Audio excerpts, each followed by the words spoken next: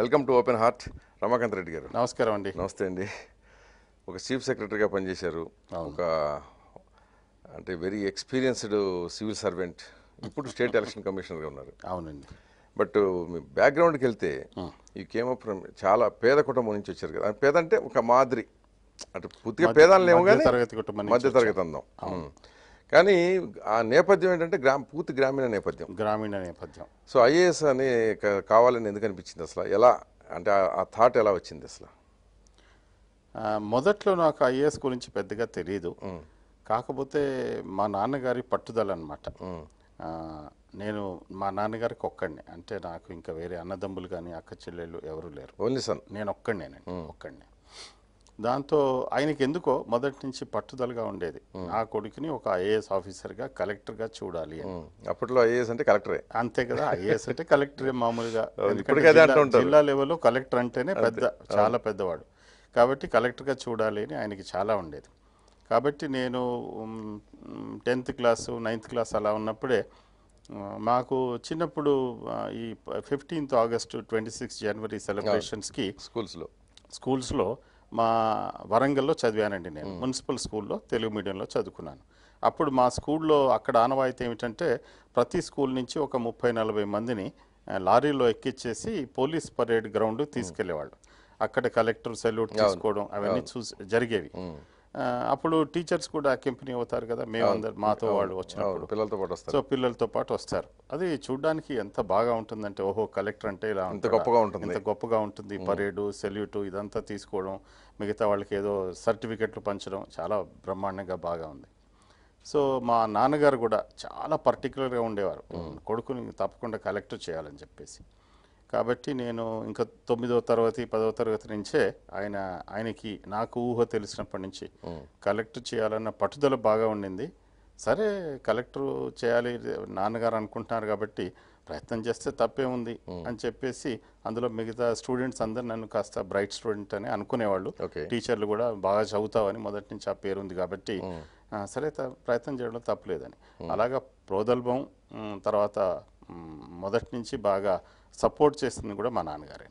అలాగే మా నాన్నగారు చెప్పారు కాబట్టి మా అమ్మగారు కూడా ఓహో నా కొడుకు కలెక్టర్ అయితే ఎంత బాగుండేది అని చెప్పేసి ఆవిడ కూడా అనుకునేది. కాబట్టి వాళ్ళ ఆశలు నెరవేర్చాలని మొట్టమొదటి నుంచి ప్రయత్నం కూడా చేసుకున్నానండి. అంటే మామూలు ఎడ్యుకేషన్ ఏంటి అసలు మీది?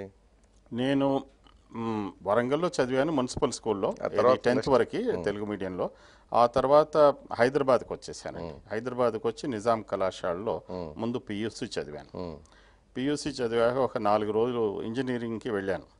అది నాకెందుకో నచ్చలేదు. ఇది మనకి కుదిరే పని కాదు అని అనిపించింది. ఆ. లెక్కలు అదంతా. ఆ నాలుగు రోజుల తర్వాత మళ్ళీ నిజాం కాలేజ్కి వచ్చాను. వచ్చి బిఏ చదివాను. బిఏ చదివి బిఏ చదివిన తర్వాత మళ్ళీ యూనివర్సిటీకి వెళ్ళాను. యూనివర్సిటీలో క్యాంపస్లో ఆర్ట్స్ కాలేజ్ ఉంది. అక్కడ ఎంఏ చేశానండి. అక్కడ ఎంఏలో గోల్డ్ మెడలిస్ట్ కూడా.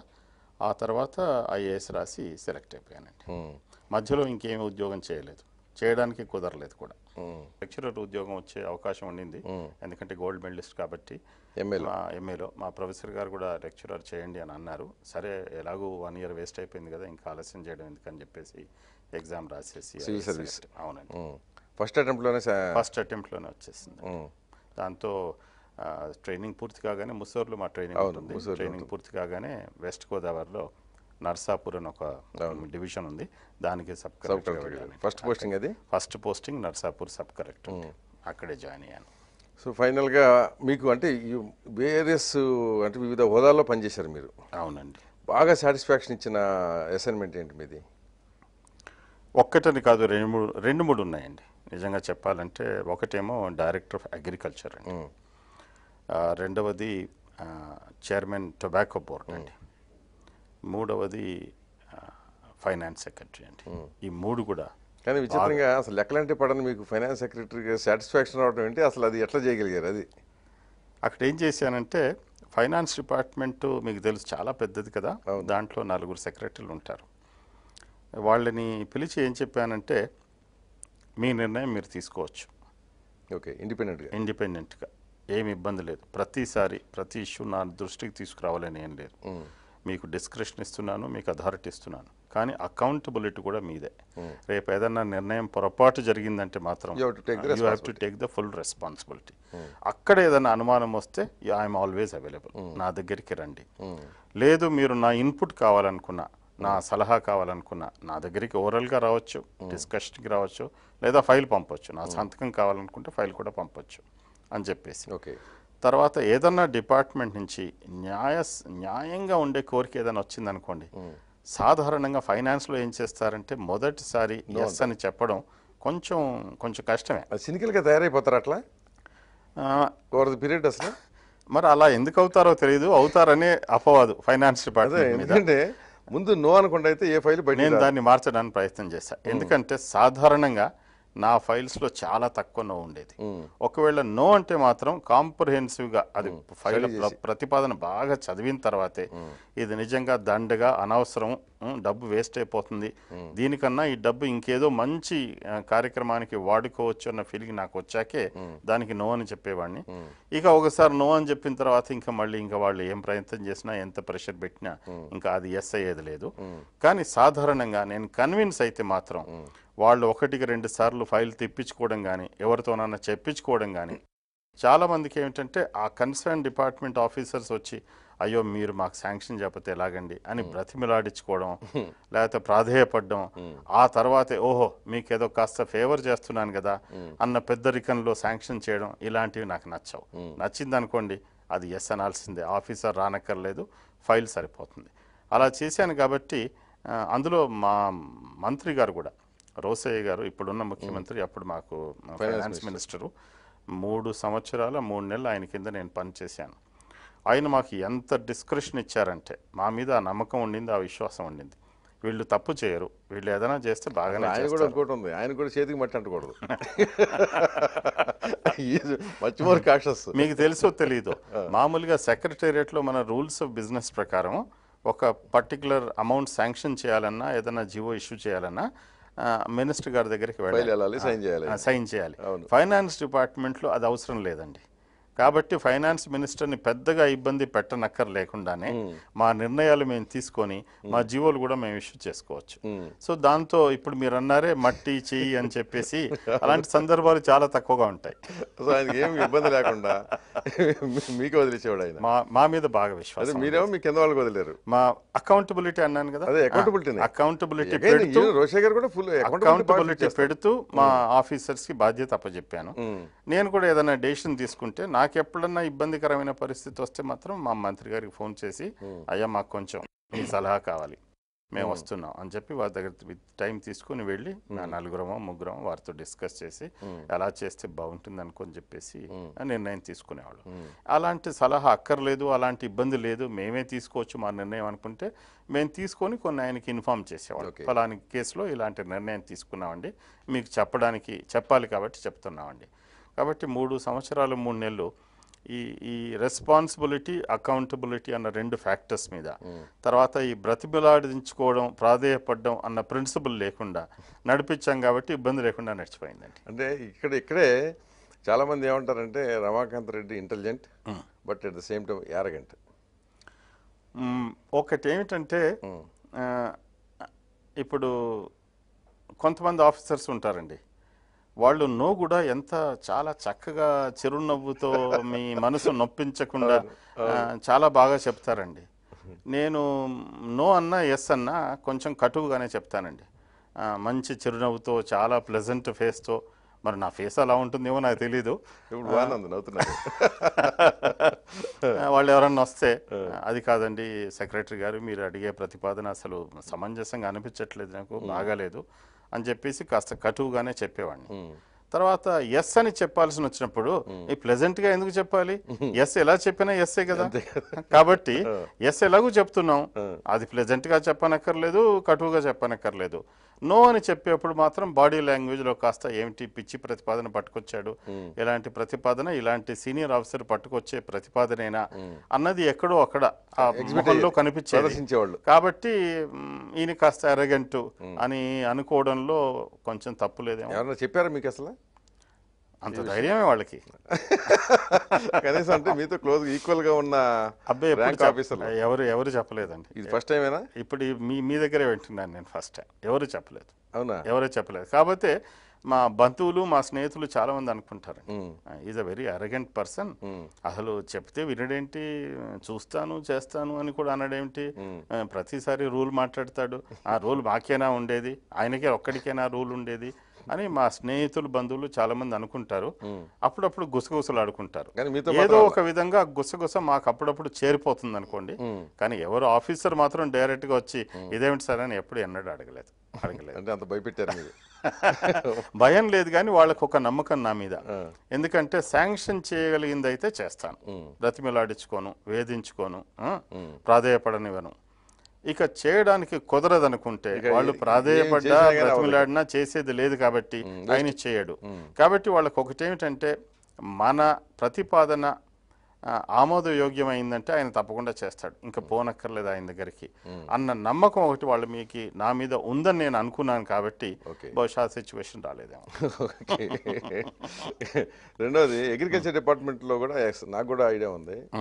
బాగా పేరు వచ్చింది మీకు అగ్రికల్చర్ డిపార్ట్మెంట్లో ఉన్న. చాలా కష్టపడి పనిచేశానండి. ఆ రోజుల్లో నేను I was the youngest director of agriculture in the country ముప్పై రెండేళ్ళు కూడా లేవండి నాకు అప్పుడు. ఎన్టీ రామారావు గారు చాలా ఆప్యాయతతో నన్ను పిలిచేసి చూడండి రెడ్డి గారు డైరెక్టర్ ఆఫ్ అగ్రికల్చర్ పంపిస్తానంటే నేను అన్నాను సార్ నేను టెక్నికల్ మ్యాన్ కాదు నాకు అగ్రికల్చర్ గురించి పెద్దగా తెలీదు. అందులో ఇంత ఎంగేజ్లో మీరు పంపిస్తున్నారు. మొన్న నిన్న నిన్నగాక మొన్న కృష్ణా జిల్లా నుంచి వచ్చాను అన్నాను ఆయనకి ఎందుకో నా మీద ఆప్యాయత విశ్వాసం ఉండింది. ఆయన పంపించారు నన్ను.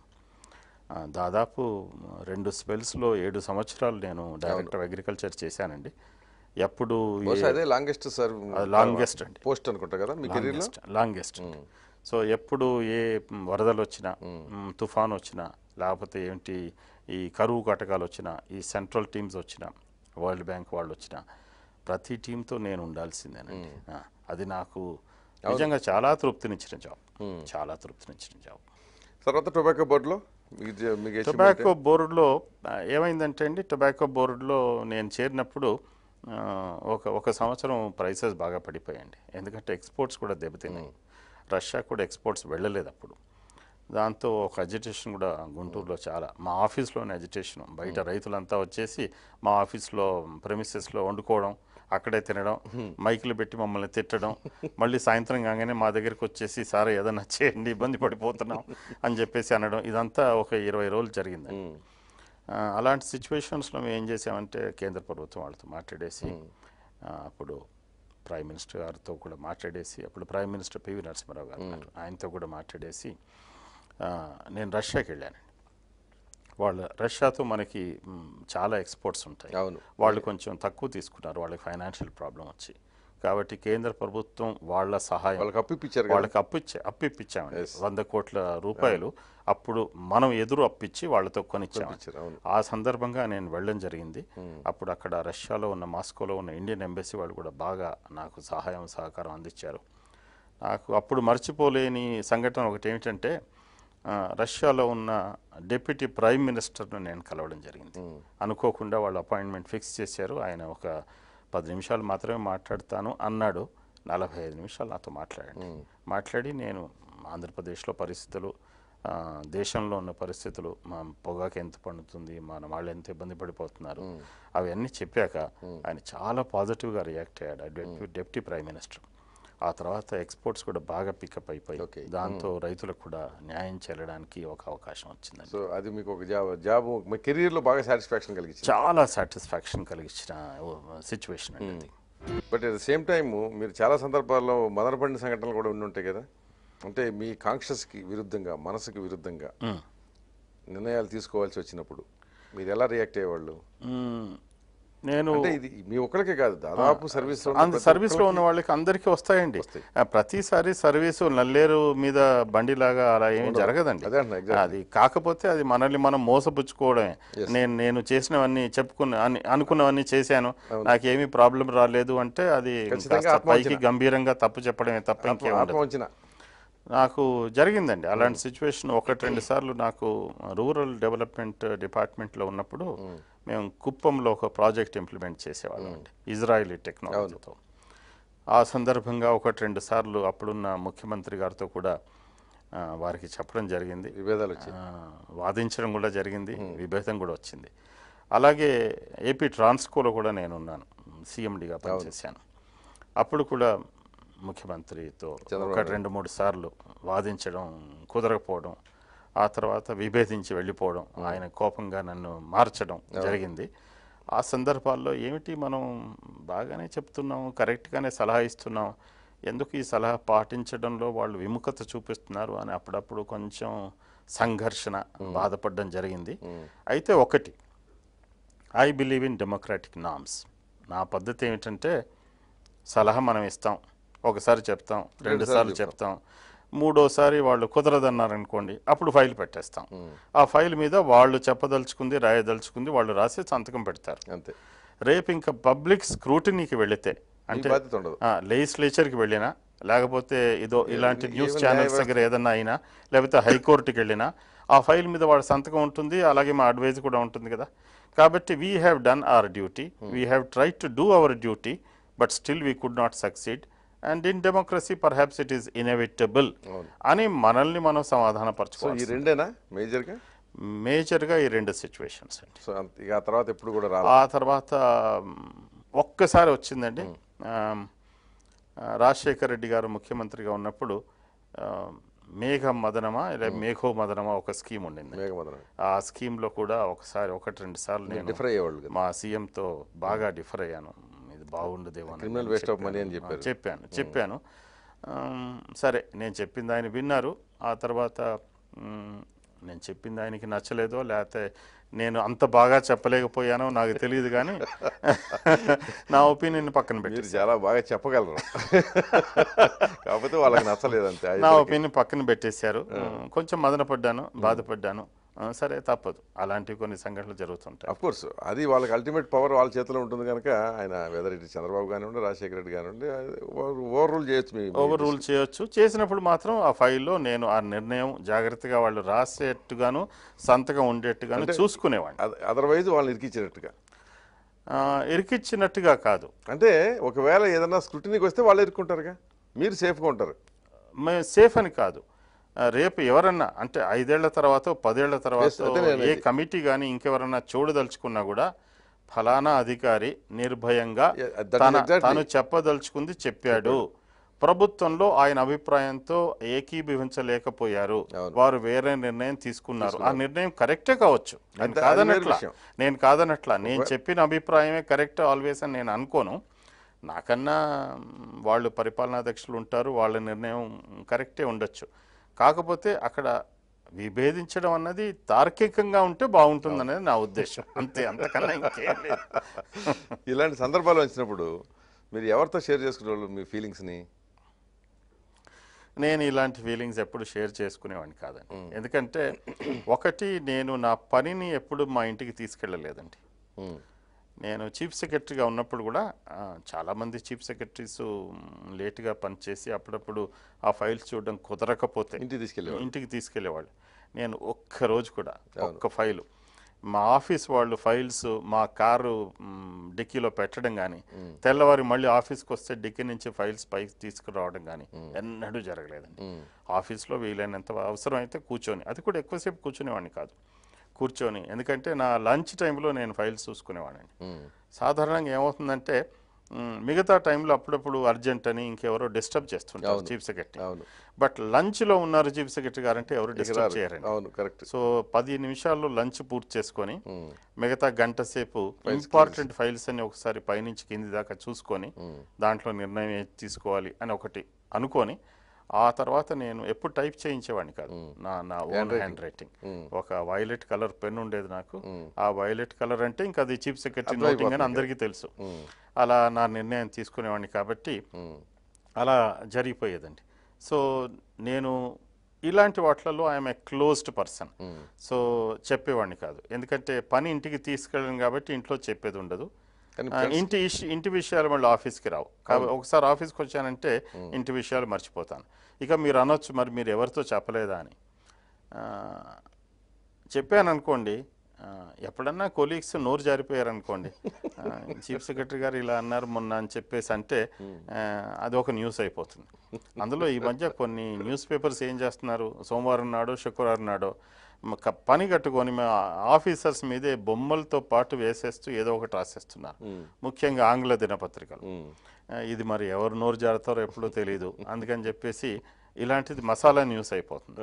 కాబట్టి నేను ఎప్పుడు ఎవరితో చెప్పుకునేవాడిని కాదు. సో కొలీగ్స్ అసలు షేర్ చేసుకునేవాళ్ళు. కొలీగ్స్తో ఎన్నడూ షేర్ చేసుకోలేదు. కానీ మీరు చాలా ఎర్లీగా ఆఫీస్ నుంచి వెళ్ళిపోతారు అనేది ఒకటి ఉండేది.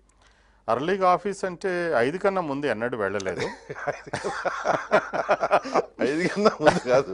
ఆరున్నరకి వెళ్ళేవాడిని. ఆరున్నరకి నేను వెళ్ళేప్పుడు నా టేబుల్ మీద ఒక్క ఫైలు లేకుండా ఇంకొకటి. నాకు ఒకరకు ఎక్క ఒక్క విజిటర్ కూడా వెయిట్ చేయకుండా అంటే నాలుగు గంటల నుంచి నాది ఓపెన్ హౌస్ అండి. నాలుగు గంటలకి నేను ఎవరైనా వచ్చి ఎవరన్నా వచ్చి కలవచ్చండి ఆయన. కానిస్టేబుల్ కావచ్చు అటెండర్ కావచ్చు జీప్ డ్రైవర్ కావచ్చు హోమ్ గార్డ్ కావచ్చు ఎవరైనా ఐజీపీ కావచ్చు లేకపోతే సీనియర్ ఐఎస్ ఎవరైనా కలవచ్చు. నేను వెళ్ళేప్పుడు అడిగేవాడిని. ఇంకేమైనా ఫైల్స్ ఉన్నాయా? విజిటర్స్ ఎవరైనా ఉన్నారా? ఫైల్స్ లేనప్పుడు విజిటర్స్ లేనప్పుడు ఓహో చాలా కష్టపడి పనిచేస్తున్నాడు అని చూపించుకోవడానికి ఎనిమిది గంటల దాకా కూర్చోవలసిన అవసరం ఏముంది చెప్పండి? హాయిగా ఇంటికి ఎవరిని వెళ్ళిపోవచ్చు కదా. ఎవరిని మెప్పించడానికి స్టాఫ్ అయినా ముందు వెళ్ళిపోతారు కదా. దీనికి కాంట్రరీ ఇంకొక ఐటెం చెప్తాను. మీరు అప్రిషియేట్ చేస్తారు. అక్టోబర్ రెండు అనుకుంటా. రెండు మూడు నాలుగు లాస్ట్ ఇయర్. కర్నూలు జిల్లా మహబూబ్ నగర్ జిల్లా కడప జిల్లా. చాలా పెద్ద ఫ్లడ్స్ వచ్చాయి. కర్నూలు టౌన్లో ముఖ్యంగా. ఆ రెండు రోజులు నేను ఇంటికి వెళ్ళకుండా రెండు రాత్రులు ఆ రెండు రోజులు మా ఆఫీస్లో పడుకున్నానండి. బహుశా మధ్యాహ్నం పడుకున్న వాళ్ళ సంగతి వదిలిపెట్టండి. రాత్రిపూట ఆఫీస్లో పడుకున్న చీఫ్ సెక్రటరీ నేనే మొదటి వాడిని అనుకుంటా. మధ్యాహ్నం చాలా మంది పడుకుంటారు రాత్రిపూట పడుకున్న చీఫ్ సెక్రటరీ ఆఫీస్లో బహుశా నేను మొదటి వాడిని అనుకుంటా సో పని ఉన్నప్పుడు పడుకున్నాను ఆ రెండు రోజులు పడుకున్నాను. బయటికి వెళ్ళలేదు. ఇంటికి వెళ్ళలేదు ఇంట్లో నుంచి టిఫిన్ తెప్పించుకున్నాను ఇంట్లో నుంచి బట్టలు తెప్పించుకున్నాను కానీ ఇంటికి ఆఫీస్లోనే వెళ్ళలేదు. స్నానం చేశాను ఆఫీస్లోనే ఉన్నాను ఆఫీస్లోనే పడుకున్నాను. పడుకోవడం కూడా చాలా తక్కువ అండి. ఎందుకంటే రిపోర్ట్స్ వస్తున్నాయి కాబట్టి రిపోర్ట్స్ వస్తున్నాయి కాబట్టి మానిటర్ చేస్తూ ఉన్నాను. సో అవసరమైతే పడుకున్నాను.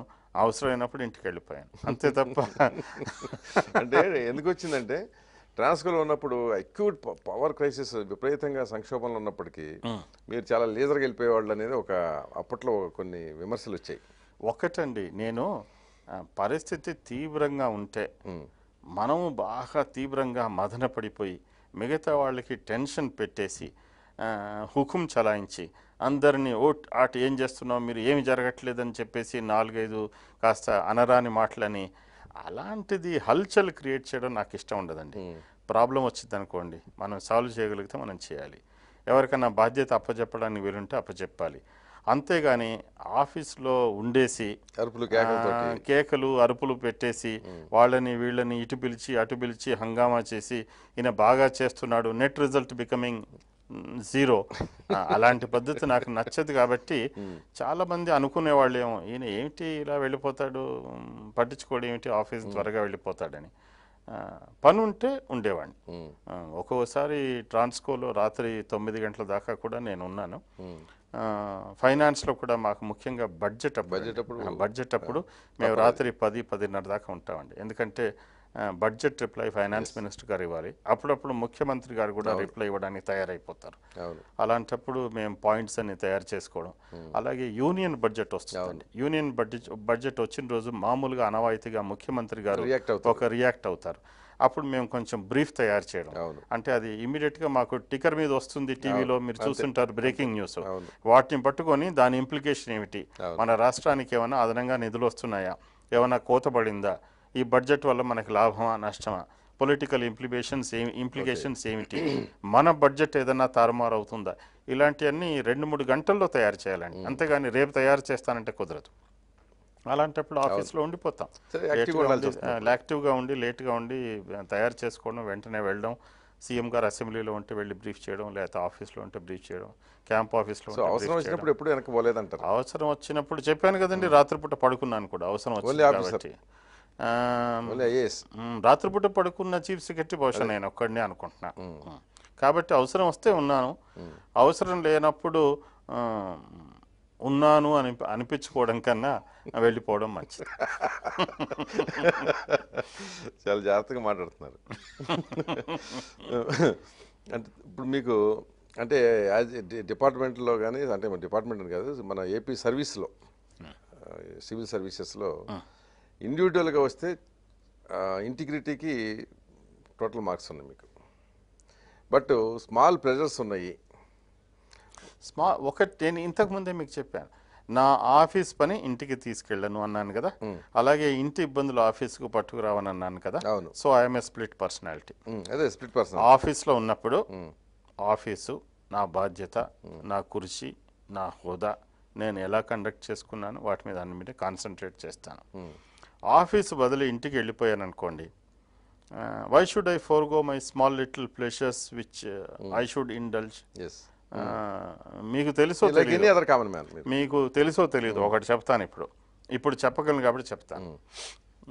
Nineteen ninety six or ninety five or ninety six అనుకుంటానండి. ఆ, అప్పటి ముఖ్యమంత్రి సంపూర్ణ మద్య నిషేధం పెట్టారు అవును. అప్పుడు నేను చైర్మన్ టొబాకో బోర్డుగా ఉండేవాడిని. చైర్మన్ టొబాకో బోర్డుగా ఉన్నప్పుడు ఏమవుతుందంటే బయటి కంట్రీస్ నుంచి కూడా చాలా. ట్రేడ్ డెలిగేషన్స్ వస్తాయి. రష్యా నుంచి లేకపోతే మన యూరోప్ నుంచి లేకపోతే సింగపూర్ నుంచి జపాన్ నుంచి? వాళ్ళంతా వస్తారు కదండి. వాళ్ళు వచ్చినప్పుడు మరి గుంటూరులో అందరికన్నా సీనియర్ ఆఫీసర్ నేనే. ప్లస్ టొబాకో సంబంధించిన వాడిని నేనే టొబాకో బోర్డు చైర్మన్ నేనే. కేంద్ర ప్రభుత్వానికి ఏకైక ప్రతినిధి పొగాకు రంగంలో. మరి వాళ్ళని అప్పుడప్పుడు భోజనానికి పిలవడం లేకపోతే వాళ్ళు నన్ను పిలవడం అలా జరుగుతుందండి. మరి యూరోప్ నుంచి వచ్చిన డొలి డెలిగేషన్ మా ఇంటికి పిలిచి నేను కొబ్బరి నీళ్ళు కోకా కోలా ఇస్తే వాళ్ళు తాగుతారండి మళ్ళీ వస్తారా? వాళ్ళు పోయి బయట చెప్పుకుంటారు. ఈ చైర్మన్ ఇంటికి పోవడం వేస్ట్ అండి. సో అప్పుడు మద్య నిషేధం ఉన్నా కూడా అలాంటి ట్రేడ్ డెలిగేషన్స్ వచ్చినప్పుడు మా ఇంట్లో వాళ్ళకి వైన్ వీరు బిస్కీ సర్వ్ చేశానండి. మీరు అనొచ్చు ఇప్పుడు మరి అది బ్రేక్ చేశారు కదా అని. కానీ in the interest of this in the interest of the nation in the Nation and interest job. Of the in the in the So, interest job of the warrants job. అనుకోండి. చేసాం మరి. అలా అప్పుడప్పుడు చేస్తాం. You can call it a small pleasure you can call it violation you can call something in the overall interest of the job as whichever way you want interpret but చేసాం. So అలాగా చిన్న చిన్న కోరికలు ఉన్నాయనుకోండి. మన కోరికలకు మనకి weakness కానంత వరకు మన కోరికల్ని ఆసరా చేసుకొని మన కుర్చీతో మన అవతల వాళ్ళు మనల్ని మిస్యూటిలైజ్ చేసుకోకుండా ఆడుకోకుండా ఉన్నంత వరకు తప్పులేదండి. ఓకే. మీరు నిజం చెప్పండి ఇంట్లో రామయ్య వీధిలో కృష్ణుడా కాదా? అబ్బే అలాంటిది ఏం లేదు. అలాంటిది ఏమీ లేదు. మీరు ఎవరినైనా అడగచ్చు. ఎవరినైనా అడగచ్చు మా ఫ్యామిలీ మెంబర్స్ కూడా అడగచ్చు. ఇంతెందుకు మా రిలేషన్స్ అడగచ్చు మా ఫ్రెండ్స్ని అడగచ్చు. అలాంటిది ఏమీ లేదు. మీకు తెలుసో తెలీదో నేను ఐఏఎస్ అయిన తర్వాత నాకు అమ్మాయిని ఇస్తానని చాలా చాలా చాలా మంది వచ్చారు. ఆ రోజుల్లో నేను అనుకుంటాను తెలంగాణ నుంచి నేను first direct recruit IAS officer. చాలా వచ్చారు. చూసి ఒకతే ఒక అమ్మాయిని పెళ్ళి చూపులు చూశాను ఆ అమ్మాయిని పెళ్ళి చేసుకున్నాను ఎందుకని ఏమి నచ్చింది బాగా ఆవిడలో? ఎందుకో ఈ అమ్మాయి నాకు భార్య అయితే బాగుంటుంది అని అనిపించింది. దానికి లాజిక్ రీజనింగ్ ఉండదు. ఎందుకంటే అది it is not an issue concerning brain it's an issue concerning heart అవును. And heart never gives logic it only brain gives the logic logic అలా అనిపించింది. అండ్ ఐఎమ్ హ్యాపీ సో రామచంద్రుని అంటారు. ఆ, అంటే రామచంద్రుడు అంటే మీ అర్థం ఏంటి? ఏ కాంటెక్స్లో కృష్ణుడు రాముడు ఏ కాంటెక్స్లో చెప్తున్నారు చెప్పండి? ఏకపత్ని అంటే బయట టిఫిన్లు తింటాను డిన్నర్లు తింటానన్నా మీ ఉద్దేశం? నాకు అలాంటివి ఏమీ లేవండి. స్మాల్ అదే నాకు అలాంటివి ఏమీ లేవు. నాకు అలాంటివి ఏమీ లేవు. I'm very attach to my family కాకపోయినా టిఫిన్లు అన్నా చేశారా? లేదండి. I'm very much attach to my family ఎందుకంటే ఇలాంటివి మీరు చేశారనుకోండి అల్టిమేట్గా ఎప్పుడో తెలిసినాడు the differences will be so much you will be unnecessarily harming yourself by you know creating a problem with your children and your wife and close relations కాబట్టి అలాంటి పని ఎప్పుడు చేయకూడదు. ఐ స్ట్రాంగ్లీ అడ్వైస్ సో మీరు చేయలేదు ఎవరిని చేయొద్దని మీరు సలహా ఇస్తుంటారు? నేను నలభై నాలుగు దేశాలకు వెళ్ళానండి. ప్రభుత్వ ఖర్చు మీద నలభై నాలుగు దేశాలు తిరిగాను. ఏ డిపార్ట్మెంట్లో ఉన్నా ఏదో అవకాశం వచ్చింది. ఒక న్యూస్ పేపర్ వాళ్ళు నన్ను ఈయన ఫైనాన్స్ సెక్రటరీ కాదు ఫారెన్ సెక్రటరీ అని కూడా అన్నారు. నవ్వుకున్నాను. వెళ్ళాను. వెళ్ళినప్పుడు నాతో ఎవరైనా వస్తే కూడా నేను క్లియర్గా చెప్పేవాడిని. మీరు బయటికి వెళ్ళి భోజనం చేద్దామంటే చేద్దాం. ఇంకా ఎక్కడికన్నా ఏది లేదు చూసి వద్దామంటే చూద్దాం.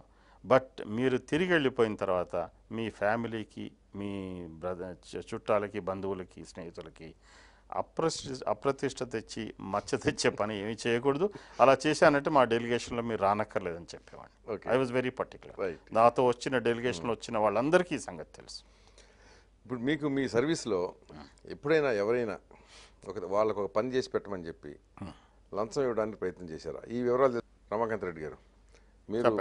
ప్రభుత్వ కీలక పదవుల్లో ఉన్నప్పుడు ఎవరైనా సరే మీకు ఒక పని చేసి పెడితే మాకు డబ్బులు ఇస్తామని చెప్పి ఎవరైనా ఆఫర్ చేశారా? వచ్చారండి. నేను డైరెక్టర్ ఆఫ్ అగ్రికల్చర్గా ఉన్నప్పుడు ఇలాంటి సందర్భం వచ్చింది. టొబాకో బోర్డ్ చైర్మన్గా ఉన్నప్పుడు వచ్చింది. ఫైనాన్స్ సెక్రటరీగా ఉన్నప్పుడు వచ్చింది. చీఫ్ సెక్రటరీగా ఉన్నప్పుడు చాలా సార్లు వచ్చాయి. చాలామంది వచ్చారు. ఆ, మీరు చాలా పెద్ద అమౌంట్లు కూడా ఆఫర్ చేసి ఉంటారు ముఖ్యంగా ఏసీబీ ఫైల్స్ మా ద్వారా వెళ్తాయండి. అవును అన్ని ఏసీబీ ఫైల్స్ కూడా ఫైనల్గా చీఫ్ సెక్రటరీ ద్వారానే వెళ్ళాలండి. అది ఒక్కొక్క ఫైలు దాదాపు నాలుగు వందలు ఐదు వందలు ఆరు వందల పేజీలు ఉంటుందండి. ఎందుకంటే ఏసీబీ రిపోర్టే ఒక్కోసారి మూడు వందల పేజీలు ఉంటుంది. అది పూర్తిగా చదవాలి చార్జ్ షీట్ చదవాలి. ఆ తర్వాత డిఫెన్స్ ఉంటుంది. అక్యూజ్డ్ ఎంప్లాయీ డిఫెన్స్ ఉంటుంది. అవన్నీ చదవాలి. అలాంటప్పుడు చాలామంది వచ్చేవాళ్ళండి. నేను ఒకటే చెప్పేవాడిని. చూడండి నా సంగతి మీరు తెలియక వచ్చినట్టున్నారు. ఎవరన్నా పంపిస్తే. అలాంటి వాడిని నేను కాదు. మామూలుగా అయితే ఏ పోలీస్ వాళ్ళని ఎవరినో పిలిపించి మిమ్మల్ని పట్టించాలి. అలాంటి హంగామా నాకు అక్కర్లేదు ఇదో మీ ఫైల్ పొద్దున్నే నేను చూసి పంపించేశాను. అప్పుడప్పుడు అబద్ధం చెప్పేవాడిని. మీ. ఫైల్ పొద్దున్నే నేను చూసి పంపించేశానండి. ఇంకా నా చేతిలో ఏమి లేదు. మీరు ఏం చేసుకుంటారో వెళ్ళిపోండి. ఎక్కడికి వెళ్ళాలో మీకు తెలుసు కదా. వెళ్ళిపోయి మీ చేతనైంది మీరు చేసుకోండి. నా చేతిలో ఏం లేదు అని చెప్పేసి మళ్ళీ ఎవరన్నా ఫోన్ చేస్తారేమోనని ఏదన్నా పక్కన పని ఉంటే పని పెట్టేసి ఆ ఫైల్ ఇమ్మీడియట్గా తెప్పించేసి నాకు న్యాయంగా అనిపించింది నా రిమార్క్స్ రాసి ఇమ్మీడియట్గా పంపించేవాడిని. అలా చాలాసార్లు జరిగింది. ఇలాంటి ప్రలోభాలు అమౌంట్ ఎంత ఆఫర్ చేశారు? అమౌంట్ అని కాదు కానీ వాళ్ళు ఏమంటారంటే అండి ఇలాంటివి చాలా డిప్లొమాటిక్గా ఉంటుంది conversation nobody comes to numbers okay ఇలాంటిది ఏమైనా ఉంటుందండి? Sir will take care of you అంటారు. లేకపోతే will take care of the family అంటారు. If there is anything we're here sir అంటారు. అలాగా నాన్ డిస్క్రిప్ట్ టెలిగ్రాఫిక్ లాంగ్వేజ్లో సంభాషణ నడుస్తుంది.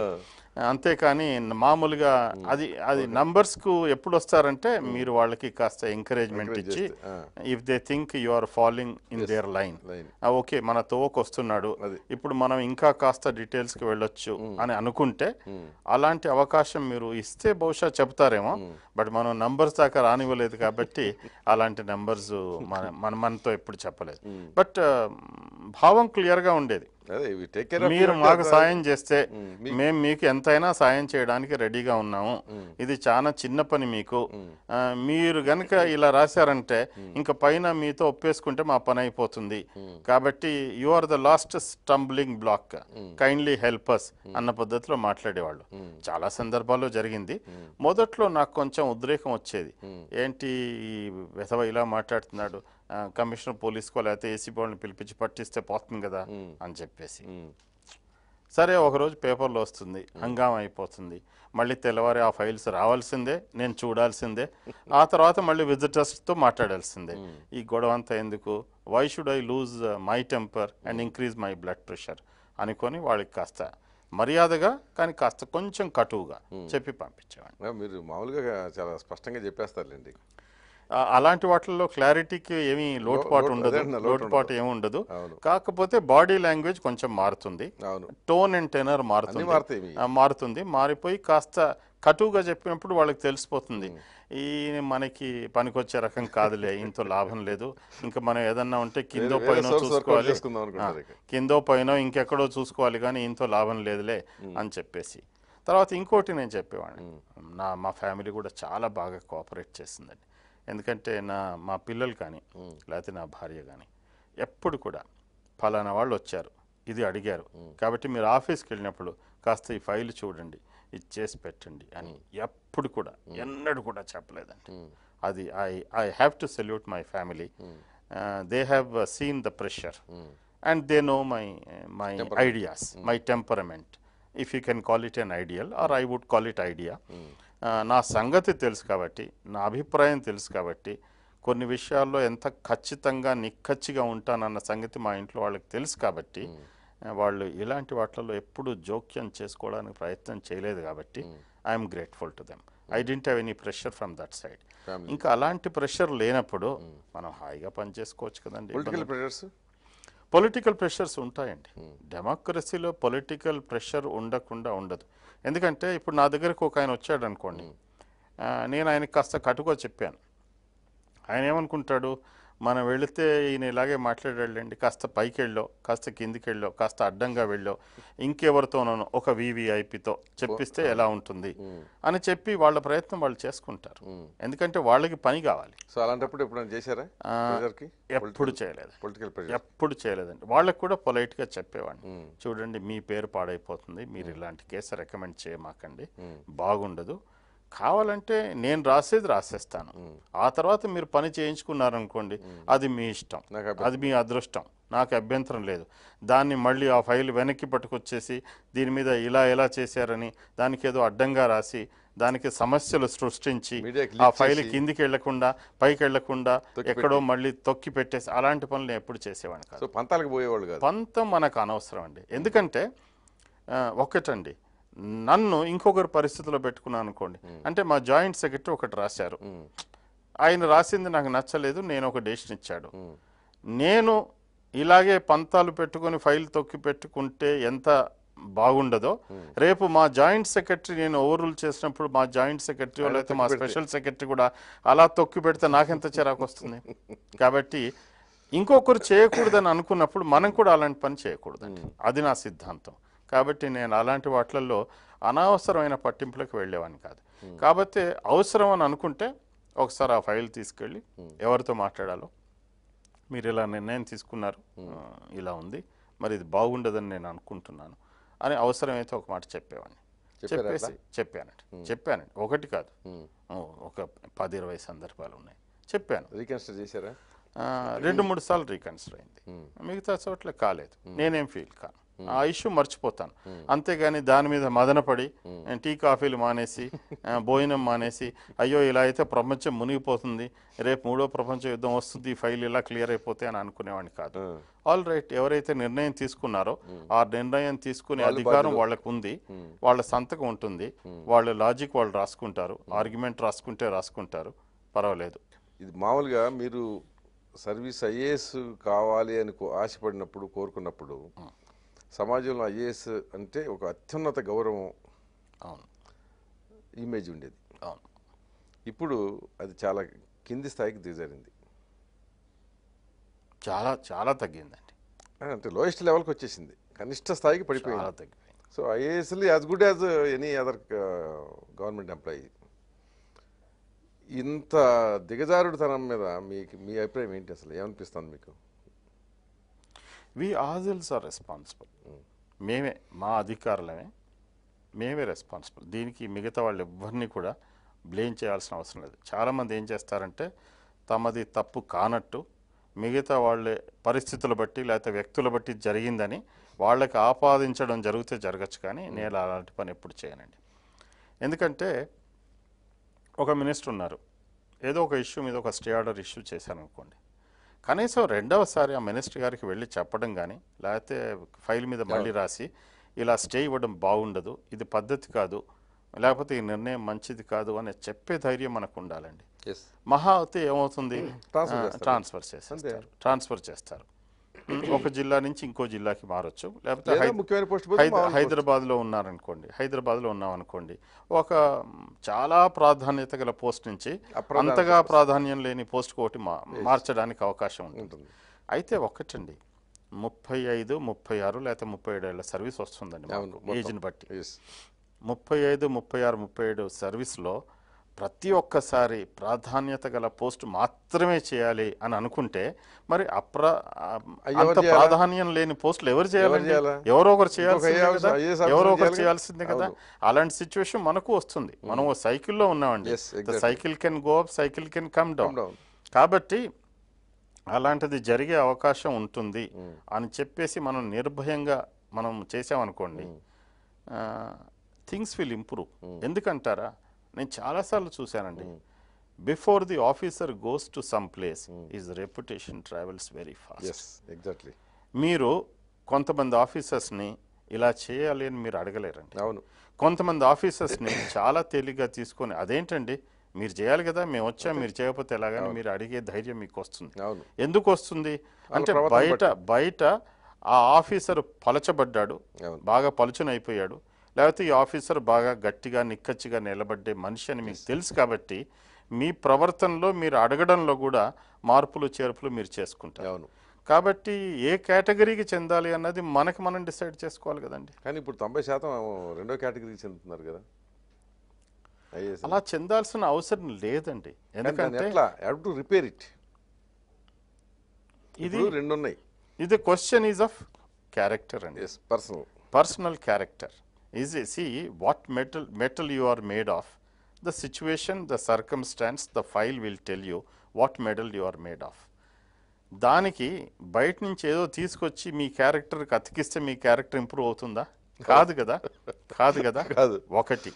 రెండవది అయ్యో మంచి పోస్టు విడిచిపెట్టి వెళ్ళిపోవాల్సే వెళ్ళిపోవాల్సిన ఇబ్బంది పడుతుంది అని మీరు ఎప్పుడైతే మదన పడిపోతారో మీ మీ ఆలోచనలు ఎప్పుడు ఆ పోస్టు ఆ కుర్చీ చుట్టే తిరుగుతాయి. అప్పుడు మీరేం చేస్తారు? అనవసరంగా ఒబ్లైజ్ చేసుకుంటూ వెళ్ళిపోతారు. అంతే.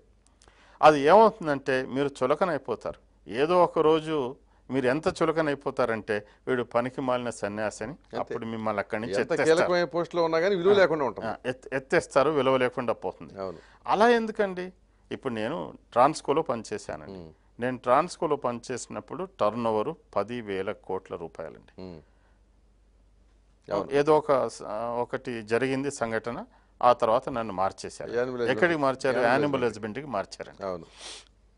యానిమల్ హస్బెండరీలో నేను అనుకుంటా అప్పుడు మా మొత్తం బడ్జెట్ రెండు వందల యాభై కోట్ల రూపాయలు అనుకుంటా. అది కూడా జీతాలకే. పదివేల కోట్ల రూపాయల టర్న్ ఓవర్ నుంచి రెండు వందల యాభై కోట్ల రూపాయలు దానికి వెళ్ళాను. అయినా నేనేం మదనపడలా. నిజంగా చెప్పాలంటే మాకు కొంతమంది కొలీగ్స్ వచ్చారు నాకు. అదేంటండి మిమ్మల్ని ఈ పోస్ట్కి ఇచ్చారు ట్రాన్స్కో నుంచి మీరు ప్రొటెస్ట్ చేయలేకపోయారా అన్న. ఏంటి ప్రొటెస్ట్ చేసేది? ఇది కూడా ప్రిన్సిపల్ సెక్రటరీ పోస్టే కదా. దీంట్లో ఏమైనా ఒక రూపాయి జీతం తక్కువ వస్తుందా? అంటే అదేమిటి సార్ ఆవులు గేదెలు చూస్తారా మీరు అన్నారు. అదేమిటండి ఆవులు గేదెలు చూస్తే ఏమైనా తక్కువనా? డిపార్ట్మెంట్ ఏమైనా తక్కువనా? ఇది చాలా ఇంపార్టెంట్ డిపార్ట్మెంట్. మామూలుగా మెడికల్ అండ్ హెల్త్లో ఒక మగవాడు లేకపోతే ఒక ఆడది లేకపోతే ఒక చిన్న అబ్బాయి గురించి మాత్రమే తెలుసుంటే సరిపోతుందని బయట అనుకుంటారు. ఇక్కడ మరి మీకు కుక్క నుంచి పులి దగ్గర నుంచి ఆవు దగ్గర నుంచి గేదె దగ్గర నుంచి జింక దగ్గర నుంచి కుందేలు అన్ని అన్నిటి శరీర నిర్మాణం గురించి తెలుసుంటేనే కదా మీరు అయ్యేది. తర్వాత అవి ఏవి చెప్పలేవు కదా వాటి బాధలు మనమే కనుక్కోవాలి కదా. కాబట్టి ఇది చాలా ఇంపార్టెంట్ పోస్ట్ అండి. నేనేం ప్రొటెస్ట్ చేయను. ఇక్కడ ఉన్న రోజులు ఉంటాను అన్నాను. నన్ను మర్చిపోయారు ఆ పోస్ట్లో వేసి. చాలా రోజులు పనిచేశాను నేను అక్కడ. చాలా రోజులు పనిచేశారు. మర్చిపోయారు. ఆ తర్వాత మళ్ళీ ఒక రోజు గుర్తుపెట్టుకున్నారు. ఉమ్. గుర్తుపెట్టుకొని పిలిచారు ఫైనాన్స్కి. ఉమ్. వచ్చాను.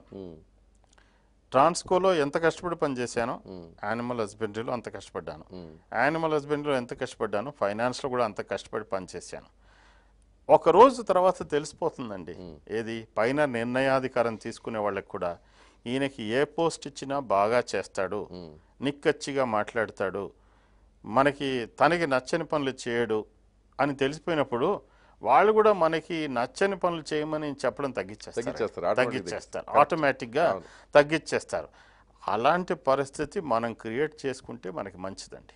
కరెక్టే మీరు ఎప్పుడన్నా ఎక్స్ప్రెషన్ విన్నారా? The the bureaucracy was as to only bend but they chose to. Crawl అని. But they chose to crawl అని. అది ఎవరిదండి రెస్పాన్సిబిలిటీ ఆ మీదే. బాధ్యత ఎవరిది? మాదే కదా? మీదే. కదా? మరి when somebody was as to bend why did the choose or why did they choose to crawl this is inexplicable ఇలాంటి జరగకూడదు. కాళ్ళ మీద పడుతున్నారు ఇలాంటి జరగకూడదు. ఏమవుతుందండి? ఏమవుతుంది? ఓకే అప్రధానమైన పోస్ట్కి వెళ్ళిపోతాం. ఆ తర్వాత మీ మెట్లు గుర్తించి మళ్ళీ మిమ్మల్ని అసలు ప్రధానం అప్రధానం అనేది అది అనుకోవటాన్ని బట్టి ఉంటుంది. అంతే కదండి. అంతే. వేరే ఇంట్రెస్ట్ లేకపోతే ప్రధానం ఏంటి అప్రధానం ఏంటి చెప్పండి? ఏమి ఉండదండి. మీ మీ హోదా మీకు ఉంటుందా మీ కారు మీకు ఉంటుంది? మీ ప్రైవేట్ సెక్రటరీ ఉంటాడా? మీకు ఒక ఆఫీస్ ఉంటుందా? మీకు ఫైల్స్ వస్తాయా? క్యాబినెట్కి వెళ్తారా? అసెంబ్లీకి వెళ్తారా? ఇంకేమిటి కావాలంటే ఇంట్లో ఇంకెక్కువ టైం గడపచ్చు కాకపోతే ఆహా పార్టీకి వెళ్ళినప్పుడు ఎక్కడైనా బయట సోషల్ సర్క్యూట్కి వెళ్ళినప్పుడు ఈయన చైర్మన్ ఏపీ ట్రాన్స్కో అని చెప్పితే కాస్త హోదా పెరుగుతుంది. ఈయన యానిమల్ హస్బెండరీ ప్రిన్సిపల్ సెక్రటరీ అంటే ఓహో యానిమల్ హస్బెండరీ అని కొంచెం తగ్గొచ్చు. బట్ ఒకటండి ఆ తర్వాత how you conduct yourself. People will be impressed and people will know what metal you are made of. కాబట్టి అలా ఆ కాండక్ట్తో మీరు మన మిగతా వాళ్ళని మెప్పించాలి కానీ మీకు తగిలిచ్చిన పోస్టుతో మీరు ఎన్ని రోజులు మెప్పించుకుంటారండి? అది తాత్కాలికమే అవుతుంది. మీకు ఒక అసోసియేషన్ ఉంది కదా ఐఏఎస్ఎల్కి? ఉందండి. కానీ ఈ దిగజారుడుతనం మీద ఈ విలువలు ఇట్లా కోల్పోవటం మీద కానీ ఐఏఎస్లో ఇంత అవినీతి ప్రవేశించడం మీద కానీ ఎప్పుడు చర్చ జరగదు అసలు? జరగలేదండి. ఒక నాకు తెలిసినంత వరకు ఒకటే ఒక రాష్ట్రంలో ఇలాంటి జరిగిందండి. ఉత్తరప్రదేశ్లో జరిగింది. ఉత్తరప్రదేశ్లో ఎలా జరిగిందంటే వాళ్ళ అసోసియేషన్ మీటింగ్ పెట్టుకొని ఫలానా ఫలానా ఫలానా అధికారులు అత్యంత అవినీతి మంతులు అని వాళ్ళు ఒక స్టేట్మెంట్ కూడా ఇష్యూ చేశారు. నిజంగా వాళ్ళని మెచ్చుకోవాలండి. అలాంటి ఎక్సర్సైజ్ చేసినందుకు. అలాంటి ఎక్సర్సైజ్ కాకపోయినా కనీసం మన అసోసియేషన్లో these are all undesirable practices ఇలాంటివి మంచిది కాదు. సర్వీస్కి మంచిది కాదు. సమాజానికి మంచిది కాదు. ప్రభుత్వం నడిపించడానికి కూడా ఇది మంచిది కాదు అని చెప్పేసి ఆ అసోసియేషన్కి సంబంధించిన ప్రెసిడెంట్ కానీ లేకపోతే ఎగ్జిక్యూటివ్ కమిటీ కానీ ఏదన్నా ఒకటి చేస్తే బాగుంటుందని అప్పుడప్పుడు నేను అనుకునేవాడిని. suggest నాకు ఎప్పుడు అసోసియేషన్కి ప్రెసిడెంట్ కాలేకపోయాను. కానీ ఈవెన్ మెంబర్గా మీరు యూ కెన్ సజెస్ట్ కదా? మెంబర్గా ఏమిటంటే జనరల్ బాడీలో ఇలాంటివి డిస్కస్ చేయరు. ఎగ్జిక్యూటివ్ కమిటీలో డిస్కస్ చేస్తారు. నన్ను ఎప్పుడు ఎగ్జిక్యూటివ్ కమిటీలో పెట్టుకోలేదు. ఎగ్జిక్యూటివ్ కమిటీకి మీరు సజెస్ట్ చేయొచ్చుగా? ఒకటి రెండు సార్లు చెప్పాను ఒకరిద్దరికి. వాళ్ళు ఎగ్జిక్యూటివ్ కమిటీలో డిస్కస్ చేశారా లేదా మళ్ళీ నేను అడగలేదు. బహుశా చేయలేదేమో. వాళ్ళు కూడా చాలా మంది అట్లా అదే ఆ కేటగిరీ వాళ్ళే ఉన్నారు కనుక. అంటే ఎందుకు అంటున్నా అంటే పొలిటీషియన్ చేసేదానికన్నా కూడా పొలిటీషియన్స్ అట్లీస్ట్ ఫైవ్ ఇయర్స్కి ఒకసారి they accountable to the public మళ్ళీ జనంలోకి వెళ్తారు. అవును. సో మీరు ఇందాక అన్నట్టు ముప్పై ఐదు నుంచి వయసులో ఎప్పుడు చేరేమో సర్వీస్లో అయిన దాన్ని బట్టి ముప్పై ఐదు నుంచి ముప్పై ఎనిమిది సంవత్సరాలు ఉంటుంది మీకు సర్వీస్. ఈ మధ్యకాలంలో మీ జోలికి వచ్చేవాడు ఉండడు. ఎందుకంటే నంబర్ ఆఫ్ కేసెస్ ఏసీబీ కేసులు ఐఏఎస్ల మీద బుక్ అయినా కానీ ఒక్క ఐఏఎస్ ఆఫీసర్ మీద కూడా చర్య తీసుకుని దాఖలాలు లేవు. మ్, తీసుకున్నాం కదండి ఇదివరకు. ఒకే ఒక కేసు. ఒకే ఒక కేసు. అది కూడా అతనంతటికి అతను అసలు ఐ థింక్ అనాథరైజ్డ్ ఆప్షన్స్ అవటం ఏదో జరిగింది డ్యూటీకి. అంతేగాని మీరు ఒక్కరిని సస్పెండ్ చేసి చూపించండి. గవర్నమెంట్ ఆఫ్ ఇండియాకి రాసి. గవర్నమెంట్ ఆఫ్ ఇండియా సస్పెండ్ చేశాం కదండి. శర్మారావు గారిని సస్పెండ్ చేశాం. అది అది not directly linked with ACB శర్మారావుది అది వేరే కుంభకోణం. బట్ ఏసీబీ ఎంక్వైరీలోనే బయటపడింది అది. అది అల్టిమేట్గా జరిగింది వేరు. బట్ అట్లా కాకుండా ఏసీబీ రైట్స్ జరిగినవి ఉన్నవి. ప్లస్ ఏసీబీ వాళ్ళ రిపోర్ట్స్ ఇచ్చినవి ఉన్నాయి. వాళ్ళు ఫర్దర్ ఎంక్వైరీకి అప్రూవల్స్ అడిగినాయి పర్మిషన్ అడిగినవి ఉన్నాయి మొన్న కూడా జాయింట్ కలెక్టర్ సస్పెండ్ చేశారు కదండి వెంటనే రిజిస్టర్ చేశారండి. వెంటనే ఏం చేయలేదు. బహుశా ఐదు నెలలు నాలుగు నెలలు అయినట్టుంది. అంటే ఒకటండి ఒకటండి. ఒక్కటి మాత్రం కరెక్షన్ నేను చెప్పాలి. ఏంటంటే చాలామంది ఏమనుకుంటారంటే ఈ సస్పెన్షన్ అనేది తూతూ మంత్రంగా జరుగుతుంది. ఇవాళ సస్పెండ్ చేస్తున్నారు. రేపో ఎల్లుండో మళ్ళీ రీఇన్స్టేట్ చేస్తారని. అది కరెక్ట్ కాదండి. ఎందుకంటే ఇలాంటి ఫైల్స్ అన్ని చీఫ్ సెక్రటరీ ద్వారా వెళ్తాయి. నేను కూడా వందల ఫైల్స్ ఇలాంటి చూశాను. సాధారణంగా మనం సస్పెన్షన్ ఎందుకు చేస్తామంటే ఈ అధికారి ఇంకా అదే పోస్ట్లో ఉంటే he will tamper with the records he will tamper with the evidence he will tamper with the witnesses వాళ్ళని ఇన్ఫ్లుయెన్స్ చేస్తాడు. తనకి అనుకూలంగా ఎంక్వైరీని మలుచుకునే ప్రయత్నం చేస్తాడు. ఆ హోదాలో ఉన్నాడు కాబట్టి హోదాను వాడుకొని. కాబట్టి ఆ హోదా తప్పిస్తే ఇది జరగదని చెప్పి మనం సస్పెన్షన్ చేస్తాం. ఒక్కసారి పూర్తి ఎంక్వైరీ అయిపోయిన తర్వాత డాక్యుమెంట్స్ ఏమేమి ఏసీబీ కానీ లేకపోతే ఇన్వెస్టిగేటింగ్ ఏజెన్సీ కానీ కావాలో వాళ్ళు తీసుకున్న తర్వాత ఎవిడెన్స్ అంతా బిల్డప్ చేశాక విట్నెస్ దగ్గర నుంచి స్టేట్మెంట్స్ రికార్డ్ చేశాక కోర్టుకు ఛార్జ్ చేశారనుకోండి అప్పుడు వాళ్ళు ట్యాంపర్ చేయడానికి అవకాశం ఏముండదు అప్పుడు మనం సస్పెన్షన్ లిఫ్ట్ చేయొచ్చు కదా ఇన్వెస్టిగేషన్ ఏజెన్సీ ఎస్టాబ్లిషెస్ అంటే ఇప్పుడు సపోజ్ నేను తప్పు చేశాను అని చెప్పి ఏసీబీ వాళ్ళు రిపోర్ట్ మీకు ఇస్తారు చీఫ్ సెక్రటరీ ఓకే సో నేను ఆల్రెడీ తప్పు చేసి ఉన్నాను నేను. నేను నేను అవినీతి పరుడని ఆ. ఏసీబీ తరఫున ఓకే తప్పు చేశారు. బట్ మీరు తప్పు చేసిన ఆఫీసర్ ఉదాహరణకి మీరు అన్నారనుకోండి మీరు ఒప్పుకుంటారా? మీరేమంటారంటే unless found guilty by the competent court I'm not correct అది అల్టిమేట్ కోర్టులో తేలుతుంది. కోర్టులో కానీ గవర్నమెంట్ ఎందుకు రీఇన్స్టేట్ చేయాలనేది ఇక్కడ ఇప్పుడు చాలా మంది పబ్లిక్లో కూడా ఒపీనియన్ ఏమందంటే ఇట్లా ఏసీబీ వాళ్ళు రైడ్లు చేస్తూ ఉంటారు. డిస్ప్రపోర్షనేట్ ఇన్కమ్ అని కానివ్వండి ఏదో ఒకటి. ఐదు కోట్లు ఐదు కోట్లు ఇరవై కోట్లు దొరికినాయని చెప్తున్నారు మళ్ళీ విత్ ఇన్ నో టైం వాళ్ళు మళ్ళీ ఉద్యోగాలు చేరుతున్నారు. సో ఇదంతా ఏంటంటే ప్రజల్ని మభ్యపెట్టినట్టు ఉంటుంది తప్పితే ఎవరికి భయం లేని పరిస్థితి. అలా ఏం లేదండి. ఇప్పుడు ఒకసారి కోర్టుకి ఛార్జ్ చేసిన తర్వాత అండి ఇంకా మేము ఛార్జ్ షీట్ కూడా విత్డ్రావల్ చేసుకోలేమండి వితౌట్ ద పర్మిషన్ అప్పుడు ఏమవుతుందంటే మేము రూల్స్ ప్రకారం వాళ్ళకి subsistence allowance half the salary ఎంతో పేమెంట్ చేయాలి. మరి హాఫ్ ద శాలరీ పేమెంట్ చేసినప్పుడు పని చేపించుకుంటే పోతుంది కదా. మళ్ళీ దానికి సంబంధం లేని పని ఏదో అప్పచెప్పొచ్చుగా. తప్పే ఉంది దానిలో సంబంధం లేని పని. దానికి చెబుతా మీరు సీఎస్గా ఉన్నప్పుడే చాలా కేసుల్లో కూడా అది మీకు మీరు ఇష్టమై చేశారా లేదా ఇంకోళ్ళు చేసుకున్నారో అది ఇందాక అన్నట్టుగా మీరు సేమ్ పోస్ట్లోనే రిజిస్టర్ రీఅపాయింట్ అయ్యారు. నాకు తెలిసినంత వరకు సస్పెన్షన్ లిఫ్ట్ చేయమని నేను రికమెండ్ చేసి ఉంటే చేసి ఉండొచ్చు కానీ అది చేసి- ఉండొచ్చు. కానీ ఫలానా పోస్ట్ మాత్రమే ఇవ్వాలని కానీ చెప్పరు. నేను చెప్పలేదు. అలాగే ఫలానా మళ్ళీ అదే పోస్ట్ ఇస్తా అన్నప్పుడు ప్రొటెస్ట్ చేసిన సందర్భాలు కూడా ఉన్నాయి.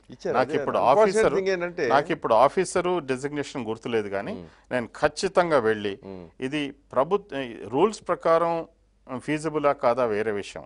ఇది ప్రభుత్వ ప్రతిష్టకి సంబంధించింది. మళ్ళీ అదే పోస్టులో వేస్తే సిగ్నల్ బాగుండదు Mm, అని exactly. చాలా సార్లు ఏం సందేశం ఇచ్చినట్టు? చెప్పాను చెప్పాను చెప్పాను because I made my mind very clear చెప్పాను.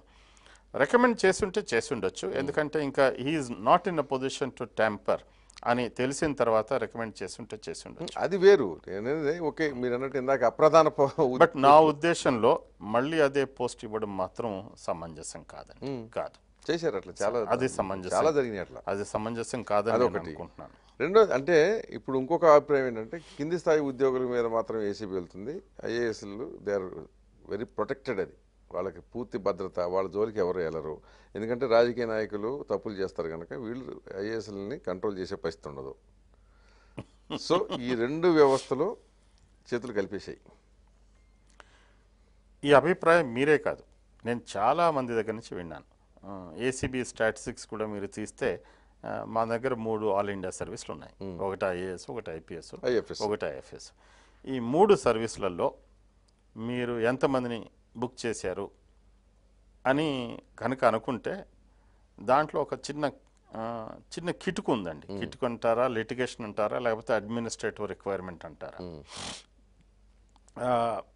ఆల్ ఇండియా సర్వీస్ ఆఫీసర్ మీద ఎంక్వైరీ చేసేప్పుడు కానీ లేకపోతే రేట్ చేసేప్పుడు కానీ గవర్నమెంట్ పర్మిషన్ తీసుకోవాలి. అదొక అదొక రూల్ పెట్టారు. అదే ఒక లిటిగేషన్ పెట్టారు. అదొక చిన్న రూల్ ఉంది కాబట్టి అది ఎవరు పెట్టారు? ఆ, మీరే తయారు చేసుకున్నారు. అంతే కదా. ఇప్పుడు అది ఎగైనా ఐఏఎస్ ఆఫీసర్ తయారు చేసుకుందా అది తయారు చేశారు. అది కింది వాళ్ళకి లేదు.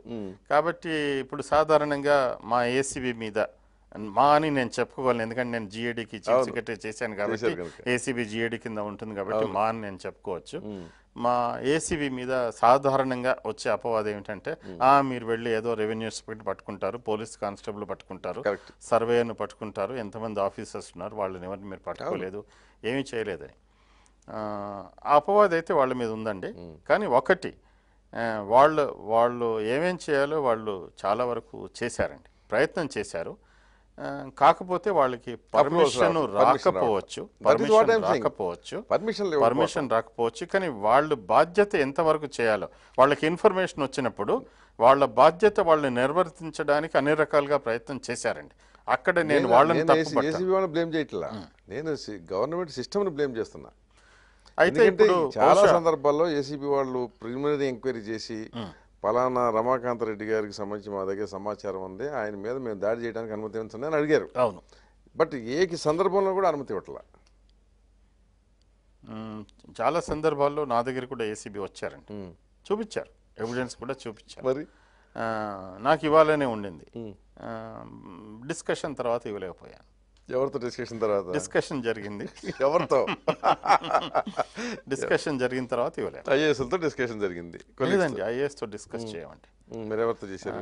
ఎవరితో డిస్కస్ చేయాలో వాళ్ళతో చేసిన తర్వాత వాళ్ళతో? పర్మిషన్ ఇవ్వడం కుదరలేదు. అదే పై వాళ్ళు ఏసీబీ వాళ్ళని పిలిచి చెప్పాను. నాకు ఇవ్వాలనే ఉంది బట్ పర్మిషన్ దీంట్లో ఇవ్వలేకపోతున్నాను. అయితే ఇది డ్రాప్ చేసినట్టుగా మాత్రం కాదు. నా ప్రయత్నం నేను చేస్తున్నాను. ఎప్పుడో ఒకసారి పర్మిషన్ ఇవ్వడానికి నేను ప్రయత్నం చేస్తాను అని చెప్పాను. కుదరలేని సందర్భాలే ఎక్కువ. అదే నేను చెప్తాను కుదరలా? సందర్భాలు ఎక్కువ కాదు. కుదిరిన సందర్భం ఒకటి చెప్పగలిగితే కానీ నేను సంతోషిస్తాను ఈ ప్రోగ్రాంలో. ఆ, ఒక్క ఐఏఎస్ మీద మీరు అప్రూవ్ చేసింది. చేయలేదండి. అదే that is what I'm saying చేయలేకపోయారు మీరు. నేను ఇది కూడా ఎందుకు అడుగుతున్నానంటే వ్యక్తిగతంగా నేను కూడా నమ్ముతా మీ ఇంటిగ్రిటీని. సో ఏ ఒక్కడు కూడా నాకు తెలిసి రమాకాంత రెడ్డి ఆయన ఆయనకి మేము డబ్బులు ఇచ్చాము లేదా ఇతర ప్రయోజనం కల్పించాము ఈ పని చేయించుకున్నాము అని అయితే చెప్పలేదు. సో ఇలాంటి ఉన్న వ్యక్తులు కూడా కనీస స్థాయిలో రిపేర్ చేయలేని పరిస్థితి వచ్చినప్పుడు వ్యవస్థ ఎప్పుడు బాగుపడుతుంది? అది దట్ ఇస్ అది ఆ రీజన్ వల్ల అడుగుతున్నా ఇది. కరెక్టే. మీరు మీరు చెప్పిన దాంట్లో నిజంగా అదేమిటి అది ఎలా అనిపిస్తుంది అంటే బయట వాళ్ళకి చిన్న ఆఫీసర్స్కి చిన్న స్టాఫ్కి ఒక రూలు. ఐఏఎస్ ఐపీఎస్ ఐఎఫ్ఎస్కి ఒక రూలా. ఈ రూల్ అడ్డం పెట్టుకొని వాళ్ళు వాళ్ళ మీద రేట్స్ కాకుండా వాళ్ళకి వాళ్ళు కాపాడుకుంటున్నారు. వాళ్ళు అక్రమంగా సంపాదించుకున్న ఆస్తి కానీ సంపద కానీ జాగ్రత్తగా కాపాడుకుంటున్నారు. ఇంకో రాష్ట్రాలకి ఎక్కడికో బదిలీ చేసుకుంటున్నారు.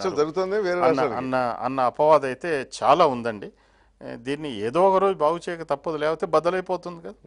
ఏదో ఒక రోజు బద్దలైపోతుంది. కాబట్టి అలాంటి సిచ్యువేషన్కి వెయిట్ చేయని అవసరం లేకుండానే మనం బాగు చేసుకునే పరిస్థితి వస్తే నాకన్నా సంతోషించేవాడు ఎవరు? డిమాండ్ చేసేది ఎవరు? మన స్టేట్ గవర్నమెంట్ చేసుకోవచ్చా? మనమే చేసుకోవచ్చండి. ఇది ఇది ఇది అడ్మినిస్ట్రేటివ్ ఇన్స్ట్రక్షన్ ఇది. ఇది యాక్ట్. కాదు? యాక్ట్ కాదండి. బిజినెస్. రూల్స్ యాక్ట్ కాదండి. యాక్ట్ కాదు కాబట్టి మనమే దాన్ని సరిదిద్దుకునే అవకాశం మనకుందండి. సో అది ఉండాలంటే very we need very strong strong leader we need a strong government with commitment ఏమవుతుంది? ఐఏఎస్లు పొలిటీషియన్స్ని కంట్రోల్ చేస్తున్నారు పొలిటీషియన్స్ ఐఏఎస్ని కంట్రోల్ చేస్తున్నారు. నేను కంట్రోల్ అన్న పదం నేను వాడను. ఎవరు ఎవరిని కంట్రోల్ చేసే పరిస్థితుల్లో లేరు కానీ అంటే కంట్రోల్ కాదు. ఎవరిని ఎవరిని కంట్రోల్ మామూలు భాష వాడాలంటే లాలిచి పడిపోయారు ఇద్దరు. లాలూచి పడిపోయారని కూడా నేను అనను కానీ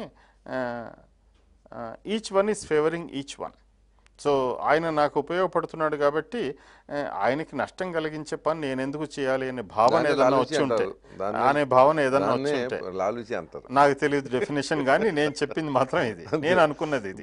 మీకు నేను ఉపయోగపడి నాకు మీరు ఉపయోగపడ్డారు అనుకోండి సో మన ఇద్దరం లాలిచి పడినట్టే. అంటే ఇది ఇది అంటే ఇక్కడతో ఎండని కోసం కాదు నేను అనేది. ఏదో పాయింట్లో అట్లీస్ట్ ఒక మీ స్థాయి ఆఫీసర్లు అయినా రిటైర్ అయిన వాళ్ళైనా సరే సంబడి హ్యాస్ టు అగైన్ ఒక మూమెంట్ లాగా టేకప్ చేసుకుంటే చేయాల్సిన అవసరం ఉందండి. చేయాలి చేయాలి. ఎందుకంటే ఎందుకంటే ఈ మధ్య కూడా మీరు చూసుంటారు ఏదో రేటింగ్ ఇచ్చినట్టున్నారు మన ఇండియాకి. ఆ రేటింగ్ కూడా కొంచెం. పడిపోయాం కదా. ఇంకా పెరిగాం. పడిపోయాం అంటే పడిపోవటం అంటే అదే కిందికి పడిపోయాం. మనం ఇంకా కీర్తి ప్రతిష్ట దిగజారిపోయాం ఇంకా కిందికి దిగజారిపోయాం. ఆ పాయింట్ ఒకసారి పెరుగుతుంది తగ్గుతుంది బట్ మనకి ఇచ్చిన రేటింగ్లో ఇంతకు ముందు కన్నా ఇంకా చాలా. దిగజారి అది కూడా ఇది విచిత్రంగా ఏంటంటే పాకిస్తాన్ కంటే. ఇంతకన్నా దిగజారిపోయాం కాబట్టి this is a cause for worry and I think something should needs to be done something needs to be done అ- అసలు అది ఇదివరకు లేనిది ఏంటంటే జనరల్గా ఇదివరకు ఏ పోస్ట్ అయినా సరే వెళ్ళిపోయేవాళ్ళు తర్వాత రిటైర్మెంట్ అయిన తర్వాత కూడా పోస్టుల కోసం ఇదివరకు ఇప్పుడు ఆలోచించేవాళ్ళు కాదు. అవునండి.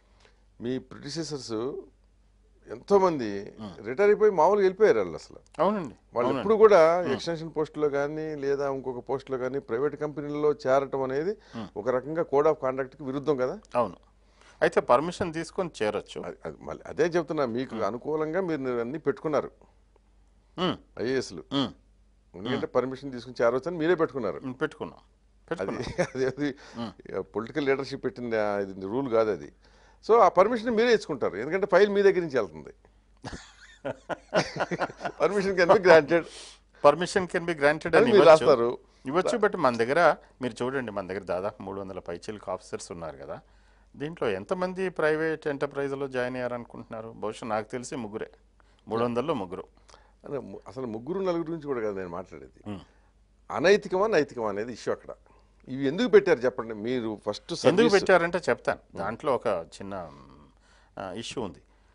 నేను ఒక ఇండస్ట్రీ సెక్రటరీగా పనిచేశాను అనుకోండి లేకపోతే ఆర్ అండ్ బి సెక్రటరీ పనిచేశాను. ఒక పర్టికులర్ కంపెనీకి అనుకోని విధంగా వాళ్ళు కి న్యాయంగా చెందాల్సిన దానికన్నా నేను ఎక్కువ లాభం కలిగించే పని చేసి నేను రిటైర్ అయిపోయిన తర్వాత వాళ్ళ దగ్గర జాయిన్ కావడానికి అవకాశం ఏదైనా అవకాశం ఉంటే అది అనైతికం అవుతుంది తప్పు అవుతుంది.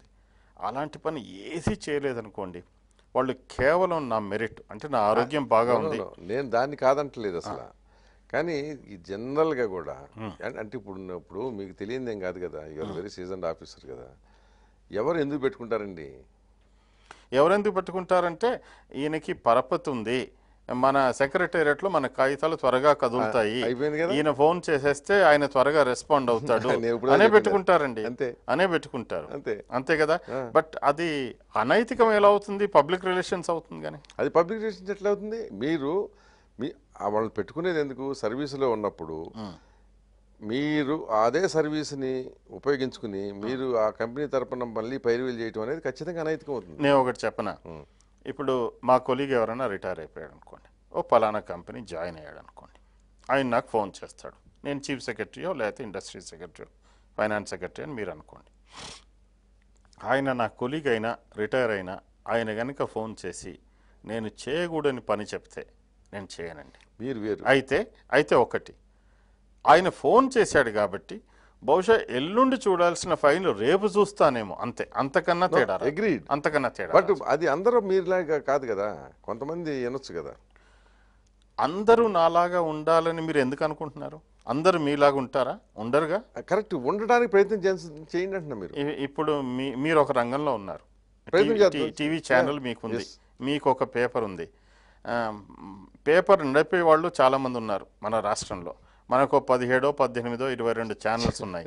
మరి వాళ్ళంతా మీలాగా ఉన్నారా? లేరుగా? ఎందుకు లేరు? మరి వాళ్ళంతా మీలాగా ఉండాలా? లేకపోతే మీరు వాళ్ళలాగా ఉండాలా?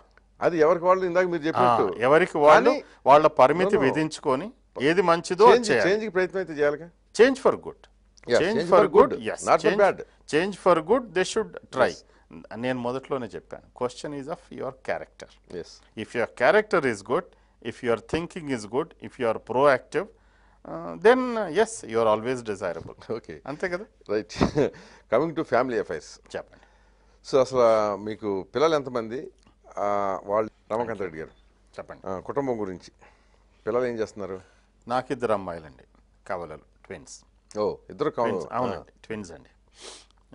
ఇద్దరు కూడా ఎంబీఏ చేస్తున్నారు. ఇక్కడ హైదరాబాద్లోనే ఎంబీఏ చేస్తున్నారు. పెద్ద అమ్మాయికేమో కాస్త నాలాగే ఐఏఎస్ రాస్తే బాగుంటుందన్న ఫీలింగ్ ఆవిడ ఉంది. ఈ సంవత్సరం రాద్దామన్న ఉద్దేశంతో ఉంది. ఓకే. రెండో అమ్మాయికేమో మీ ఫీల్డ్ అనమాట ఆవిడకి జర్నలిజం అంటే చాలా? ఇంట్రెస్ట్. అవును. జర్నలిజం అంటే చాలా ఇంట్రెస్ట్.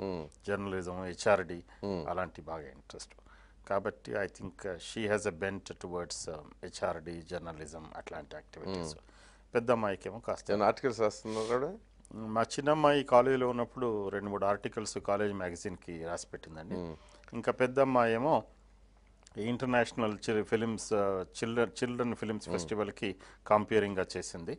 ఆ తర్వాత అన్ని కాలేజ్ డిబేట్స్లోను కాలేజ్ ఎస్ఏ రైటింగ్ కాంపిటీషను మిగతా క్విజ్ కాంపిటీషన్స్లో షీ రిప్రజెంట్ తెలుగు తెలుగు మీలాగా బాగా మాట్లాడగలరా మీ పిల్లలు? మా పిల్లలు బాగా మాట్లాడతారండి. అవునా? బాగా మాట్లాడతారు. తెలుగు తెలుగును ఇంగ్లీష్ మాట్లాడతారు బాగా. నా వైఫ్ కూడా తెలుగు ఇంగ్లీష్ చాలా బాగా మాట్లాడుతుంది. ఇంగ్లీష్ మాట్లాడతారు తెలుగు బట్ ఇంగ్లీష్తో సమస్య లేదు ఇప్పుడు. తెలుగుతోనే సమస్య వచ్చింది. తెలుగు తెలుగు బాగా మాట్లాడతారు. నాలాగే బాగా మాట్లాడతారు ఎందుకంటే మీరు జనరల్గా ఏంటంటే ఈ స్థాయికి వచ్చిన వాళ్ళు ఏంటంటే ఒక రెండు వాక్యాలు మాట్లాడితే ముప్పై వాక్యం ఇంగ్లీష్లో ఉంటుంది. మీరు అట్లా కాకుండా చాలా చక్కగా తెలుగులో నాకు తెలుగులో మాట్లాడడం ఇష్టం అండి. అంటే ఒకటేమిటంటే చిన్నప్పుడు తెలుగు మీడియంలో మీడియంలో చదువుకున్నాను. చదవటం ఒకటే కాకుండా మనకి ఉన్న గ్రామీణ నేపథ్యం కూడా. గ్రామీణ నేపథ్యం ఒకటి. తర్వాత ఒకటి నా మటుకు నేను అనుకోవడం ఏంటంటే మీరు తెలుగులో ఎంత బాగా ఎక్స్ప్రెస్ చేసినట్టుగా మీరు ఇంకో లాంగ్వేజ్లో చేయలేరండి. ఎప్పుడు మదర్ టంగ్ చేసినట్టు చేయలేము. ఎందుకంటే మనం వేరే భాషలో ఆలోచించి చెప్పాలి. చెప్పాలి. తెలుగులో తర్జుమా చేసి తెలుగులో మనం ఏం చెప్పాలనుకుందో ముందు తయారు చేసుకుని తెలుగులో ఇంగ్లీష్లో ఊహించుకొని ఇంగ్లీష్లోకి తర్జుమా చేసి లేదా. హిందీలో తర్జుమా చేసి చెప్పాలి. చెప్పాలి. అక్కడ భావం రావడానికి అవకాశం ఉండదు కాబట్టి తెలుగులో మాట్లాడడానికే ప్రయత్నం చేస్తాను. కాకపోతే అప్పుడప్పుడు బయటికి ఎక్కడైనా వెళ్ళినప్పుడు పార్టీల్లో మరి తెలుగులో మాట్లాడితే కొంచెం నామోషిగా అనిపిస్తుంది కాబట్టి అప్పుడప్పుడు నేను కూడా ఇంగ్లీష్ బాగా మాట్లాడగలను అన్న వాళ్ళ వాళ్ళకి స్ఫురించేలాగున ఒక నాలుగైదు వాక్యాలు మాత్రం ఇంగ్లీష్ మాట్లాడేసి మళ్ళీ తెలుగుకి వెళ్ళిపోతాను. ఇంగ్లీష్ రాదనుకోకుండా ఇంగ్లీష్ రాదనుకోకుండా ఉండడానికి మన డిక్షను మన ప్రొనౌన్సియేషను మన గ్రామరు అన్ని కలిసి వాక్యాలు కలిసి వచ్చేలాగా ఒక నాలుగైదు వాక్యాలు మాత్రం మాట్లాడేసి be careful I also know English as well as you do అన్న ఇంప్రెషన్ కాస్త క్రియేట్ చేసి మళ్ళీ తెలుగుకి వెళ్ళిపోతాను ఇంకా వాళ్ళు కొంచెం మనతో జాగ్రత్తగా ఉంటారు. సో ఇబ్బంది ఉండదు. Okay. So most happiest moment ఏంటి మీ లైఫ్లో? Happiest moment was when I came to know that I'm going to have twins twins I'm going to have twins అదే. అదొకటి happiest moment and the next immediate happiest moment was when I physically saw the two girls they were just I think seven minutes or ten minutes old at that time okay when I saw them in the incubator they were put in the incubator చిన్న చిన్నపిల్ల. అది. అంత సంతోషం ఎప్పుడు నాకు కలగలేదు. ఎందుకంటే that is something which you cannot describe మాటల్లో వర్ణించడానికి వీలు కానంత సంతోషం. It was it was pure sheer delight అన్నమాట. చాలా ఎక్కువ బాధ కలిగించింది? ఎక్కువగా బాధ కలిగించింది ఏమిటంటే మాకు కొంచెం పిల్లలు లేట్గా పుట్టారండి.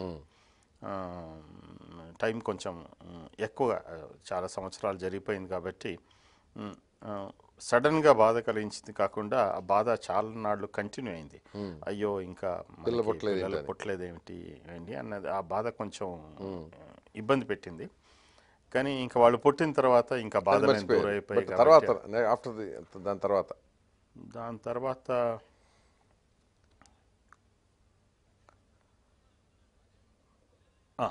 దాని తర్వాత బాధ కలిగించింది ఒక్కటండి. మా అమ్మగారు చనిపోయినప్పుడు అండి. మా అమ్మగారు వరంగల్లో ఉంటారు. మా నేటివ్ ప్లేస్ వరంగల్ అండి. ఆవిడ ఒకరోజు ఫోన్ చేసిందండి. ఫోన్ చేసి నిజంగా అప్పుడు నాకు ఎంత బాధ కలిగిందంటే ఆవిడ ఫోన్ చేసి ఒకటే అనింది. ఏంట్రా మన ఇంటి చుట్టుపక్కల వాళ్ళు నాతో నిన్నటి నుంచి మాట్లాడడం మానేశారు అనింది. ఎందుకమ్మా? అన్నాను. ఏమి లేదురా నువ్వు చీఫ్ సెక్రటరీ అయినప్పుడేమో అందరూ వచ్చేసి నన్ను బాగా మెచ్చుకున్నారు. అమ్మా నువ్వు చీఫ్ సెక్రటరీకి తల్లివి ఇప్పుడు. రాష్ట్రానికి పరిపాలన అంతా చూసే ఆయనకి ఇప్పుడు తల్లివైపోయావు అని చెప్పేసి బాగా పొగిడారు మెచ్చుకున్నారు. అలాంటి వాళ్ళే ఎందుకో నిన్న పొద్దున్న నుంచి నాతో మాట్లాడట్లేదురా అన్నారు. ఏమిటి ఎందుకు మాట్లాడట్లేదమ్మా అన్నాను. ఏం లేదురా ఏదో పేపర్ తీస్తున్నారు చదువుతున్నారు మళ్ళీ నా దిక్కు చూస్తున్నారు గుసగుసలాడుకుంటున్నారు లోపలికి వెళ్ళిపోతున్నారు తప్ప నాతో మాట్లాడట్లేదు. ఏమిట్రా అని ఫోన్ చేసింది. ఫోన్ చేసి ఏడ్చింది. ఫోన్ చేస్తే బాధపడేవాడిని కాదు ఏడ్చింది. ఏడ్చినప్పుడు చాలా బాధపడ్డానండి. అంటే సరే నేను ఉద్యోగంలో ఉన్నాను. ఆటుపోట్లు ఎదుర్కోవాల్సిందే డక్కా మొక్కిలు తినాల్సిందే ఒకసారి సంతోషమైతే ఒకసారి బాధపడాల్సిందే తప్పదు it's part of the job. కానీ ఏ తప్పు చేయని మా అమ్మ కూడా ఏడవాల్సి వచ్చేసిందే. నేను చీఫ్ సెక్రటరీ అయినప్పుడు సంతోషపడింది బట్ తర్వాత అదే చీఫ్ సెక్రటరీగా ఉన్నప్పుడే ఏడవడానికి కూడా కారణం అయిపోయానా అదేమిటి అన్నది మాత్రం చాలా బాధ కలిగింది. ఆ తర్వాత నాలుగు రోజులకి మా అమ్మగారు చనిపోయారు. చనిపోయినప్పుడు నేను పక్కన లేనండి. ఎందుకంటే ఆవిడ్ని వరంగల్ తీసుకొస్తున్నాం. అంబులెన్స్ వరంగల్ నుంచి హైదరాబాద్ తీసుకొస్తాం అంబులెన్స్కి మార్గ మధ్యలోనే చనిపోయింది. అయ్యో ఒక మాట మాట్లాడి అమ్మ నేనేమి తప్పు చేయలేదు అని చెప్పే అవకాశం కూడా నాకు దేవుడు ఇవ్వలేకపోయాడే అని మాత్రం బాధపడ్డాను. అంటే మీకు ఇంకొకటి ఉంది మీ మీద ఒక విమర్శ అది కుటుంబానికి సంబంధించి. చెప్పండి. మీ పేరెంట్స్ని మీరు పట్టించుకోలేదనేది. అబ్బాయి అలాంటిది ఏమీ లేదండి. ఎందుకు వచ్చింది మరి? ఎందుకు వచ్చిందంటే అండి యాక్చువల్గా మీరు మీ ఎందుకు వచ్చిందంటే నేను చెప్తాను. మా పేరెంట్స్ వాళ్ళు they are attach to their place native place. అంటే మాది. అసలు మన. కుటుంబాల్లో అయినా సో ఎప్పుడు కూడా వాళ్ళని మీరు ఇల్లు విడిచిపెట్టి హైదరాబాద్ వచ్చి నాతో ఉండండి ఎందుకంటే మీకు ఇంకెవరు లేరు కదా. ఇంకో చిన్న కొడుకో లేకపోతే పెద్ద కూతురో లేదు కాబట్టి నా దగ్గరకు వచ్చి మీరు ఉండొచ్చు కదా అని నేను ఎన్నిసార్లు అడిగినా కూడా లేదురా మన ఇల్లు ఇడిచిపెట్టి ఎక్కడికి వస్తాం ఎందుకు వస్తాం అని అనేవాళ్ళు తప్ప ఎప్పుడో ఏ పెళ్ళికో లేకపోతే ఏదన్నా చిన్న ఫంక్షన్కి వచ్చినప్పుడు ఒక్క పూట అది కూడా మాకు వరంగల్ అంటే రెండున్నర గంటలు. పొద్దున వచ్చేసి సాయంత్రం వెళ్ళిపోయేవాళ్ళు. కాకపోతే నేను టొబాకో బోర్డులో ఉన్నప్పుడు గుంటూరులో ఉన్నప్పుడు దాదాపు చాలా కాలం నాతోనే ఉన్నారు. ఆ తర్వాత కొంచెం ఓల్డ్ ఏజ్ వచ్చిన తర్వాత మీకు తెలుసు వాళ్ళకి వాళ్ళ ప్రయారిటీస్ వాళ్ళ చాదస్తం వాళ్ళకు ఉంటుంది ఇరుగు పొరుగు వాళ్ళంతా. తెలిసిన వాళ్ళు కబుర్లు చెప్పుకోవడానికి ఎవరో ఒకరు ఉండాలి. మన ఫాస్ట్ లైఫ్లో ఇంట్లో వాళ్ళు కూర్చొని కబుర్లు చెప్పడానికి ఎవరు ఉండరు. అందులో ఇంకోటి ఏంటంటే వాళ్ళు వరంగల్లో ఉండేది ఒక కాలనీలో అండి. చుట్టుపక్కల అందరు ఇండ్ల వాళ్ళు ఉంటారు అంతా మాట్లాడుకుంటారు స్నేహంగా ఉంటారు. నేనేమో బంజారా హిల్స్లో ఉంటానండి. రోడ్ నెంబర్ పన్నెండులో. మీకు తెలుసు కదా బంజారా హిల్స్లో ఇంటి పక్క వాళ్ళు కూడా ఇంటి పక్క వాళ్ళతో పెద్దగా మాట్లాడే సంబంధాలు ఉండవు. అసలు పక్క వాళ్ళు ఏం చేస్తున్నారు కూడా తెలియదు కాబట్టి ఇంకా మా అమ్మగారు ఏమనేవారంటే నువ్వు చీఫ్ సెక్రటరీ ఇంటి ముందర సెక్యూరిటీ ఉంటుంది. ఎవడొచ్చినా వాడు లోపలికి రానివాడు నాతో మాట్లాడడానికి ఎవడొస్తాడరా నాకు ఇక్కడే హాయిగా ఉంది అని చెప్పేసి.